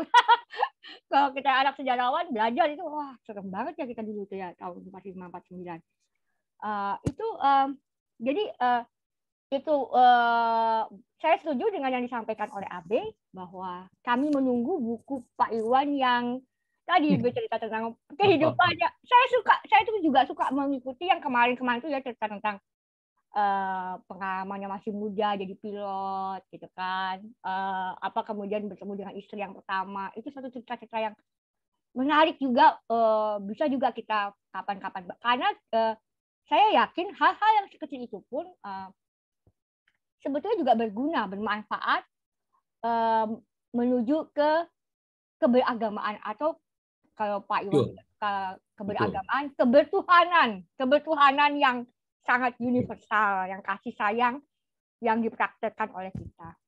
Terima kasih banyak Pak Iwan. Mohon maaf jika ada kekurangan dari kami. Oh, saya yang tersanjung kok. Aku closing ya. Iya boleh ya. closing silahkan. Uh, terima kasih Pak Iwan sudah apa memberikan kesempatan bertukar pikiran dan terima kasih bukunya Pak Iwan. Hmm. Uh, langsung dua pula istri saya juga baca. terima kasih. Uh, mudah-mudahan sehat. Lihat sudah sehat. Sudah sudah sudah. Mudah-mudahan nanti uh, buku Bapak insya Allah akan saya wariskan buat anak saya juga yang masih SD agar mereka juga akan tumbuh jadi orang-orang yang terbuka kelak insya Allah uh, sehingga tidak menjadi seorang yang kemudian beragama karena kejumudan atau karena doktrin dan sebagainya. Satu hal uh, berkaitan dengan judul Islam Rahmat yang jadi bencana, saya jadi ingat ada satu ungkapan dari Haider Bagir, beliau mengutip dari salah satu alim bahwa yang datang dari Tuhan, apa pun Tuhannya itu, siapa pun Tuhannya, terserah mau persepsinya kita tentang Tuhan seperti apa, itu adalah rahmat. Lantas bagaimana mungkin kita merasakan rahmatnya layaknya kita uh, menganggap bahwa itu adalah bencana. Haider Bagir me, me, melukiskan ilustrasinya seperti ini. Ada ada seorang yang sedang sakit, meriang, lalu kemudian dia diberikan air dingin. Bagi orang yang tidak sakit, uh, air dingin itu adalah rahmat, adalah hal yang membuat dia nyaman, segar. Terus kemudian dia merasa apa hilang hausnya dan seterusnya. Tapi bagi orang yang sedang sakit, air dingin tersebut atau orang sakit ini seharusnya banyak-banyak minum air hangat. Pada hmm. saat dia minum air dingin itu, dia merasa bahwa semakin sakit. Jadi akhirnya surga dan neraka itu bisa jadi juga hanyalah satu ungkapan atau persepsi kita tentang rahmat itu sendiri. Hmm. Yang datang dari Allah atau yang datang dari Tuhan atau yang datang dari God atau siapa pun itu di saya adalah rahmat karena dia yang maha rahmah, dia yang maha sayang dan seterusnya. Ya, melampaui 99 nama lah, melampaui apa yang disifati oleh kita. Tapi yang saya yakini bahwa apa yang datang dari dia adalah rahmat. Sedangkan terpersepsi menjadi sesuatu yang memberikan berkah bagi saya atau menjadi satu siksa bagi saya, ternyata problem ada pada saya. Hmm. Mungkin itu uh, yang bisa saya sampaikan. Hmm. Kurang lebihnya mohon maaf Pak ya. Iwan, teman-teman yeah. semuanya. Yeah. Mudah-mudahan bisa uh, bukan cuma di Zoom ini kita bisa bertukar nomor HP apa dan sebagainya. Kita bisa saling cerita-cerita, Pak yeah. Iwan. Ya, siapa tahu juga pas saya lagi ke Jawa kita bisa silaturahmi insya Allah mudah-mudahan amin amin saya amin. pengen sekali ketemu sama sosok-sosok semacam ini itu ya. indah indah sekali ya. ya mungkin nanti kita bisa Terima kasih. bikin acara juga di ICSP ya. nanti Pak ya. Biku buat Pak Biku juga Masya Allah luar biasa terima kasih pandangan-pandangannya saya termasuk salah satu orang yang sangat tertarik dengan konsep Buddhism sangat tertarik sekali uh, dan berapa kali juga berkenalan dengan teman-teman Buddhis yang apa itu ya kalau yang Jepang itu nah itu, hmm. itu juga hmm. ada beberapa circle-nya juga hmm. asik, asik. keren mungkin itu saja terima kasih Assalamualaikum warahmatullahi wabarakatuh kalau ada ya. salah kata mohon maaf ya, semuanya makasih yang namanya rahmat pulang-pulang jangan jadi bencana ya di situ ada dua ah, orang kena ya. merah saya dong Terima kasih banyak Pak ya, Iwan. semuanya. Terima kasih. Sehat. Sampai jumpa. Terima kasih. Terima kasih loh Pak Iwan. Selamat malam. Selamat beristirahat semua. Saya tutup ya. Terima kasih Mas Asmi. Oh iya maaf. Uh, foto dulu, foto, foto dulu. kali ya, foto. Foto dulu, foto. Foto ini di gimana caranya foto ya? Screenshot saja kalau susah. Screenshot. Screen capture. Hah? Wah, nggak nggak dapet semua. kecil saya. Anu separuh separuh coba. Iya. Laptop ya pakai laptop. Kalau pakai yeah. HP enggak enggak. Enggak nah, bisa pakai ya. HP. Enggak ya. Uh, wajahnya ke sini semua. Uh, Oke. Okay. Satu, dua. Satu lagi. Sebentar. Ini harus dua ini, dua. Yang lainnya tidak dibuka ini. Oh iya, ya. pada pada dia dibuka. Takut Pak Iwan pada takut. Satu lagi ya.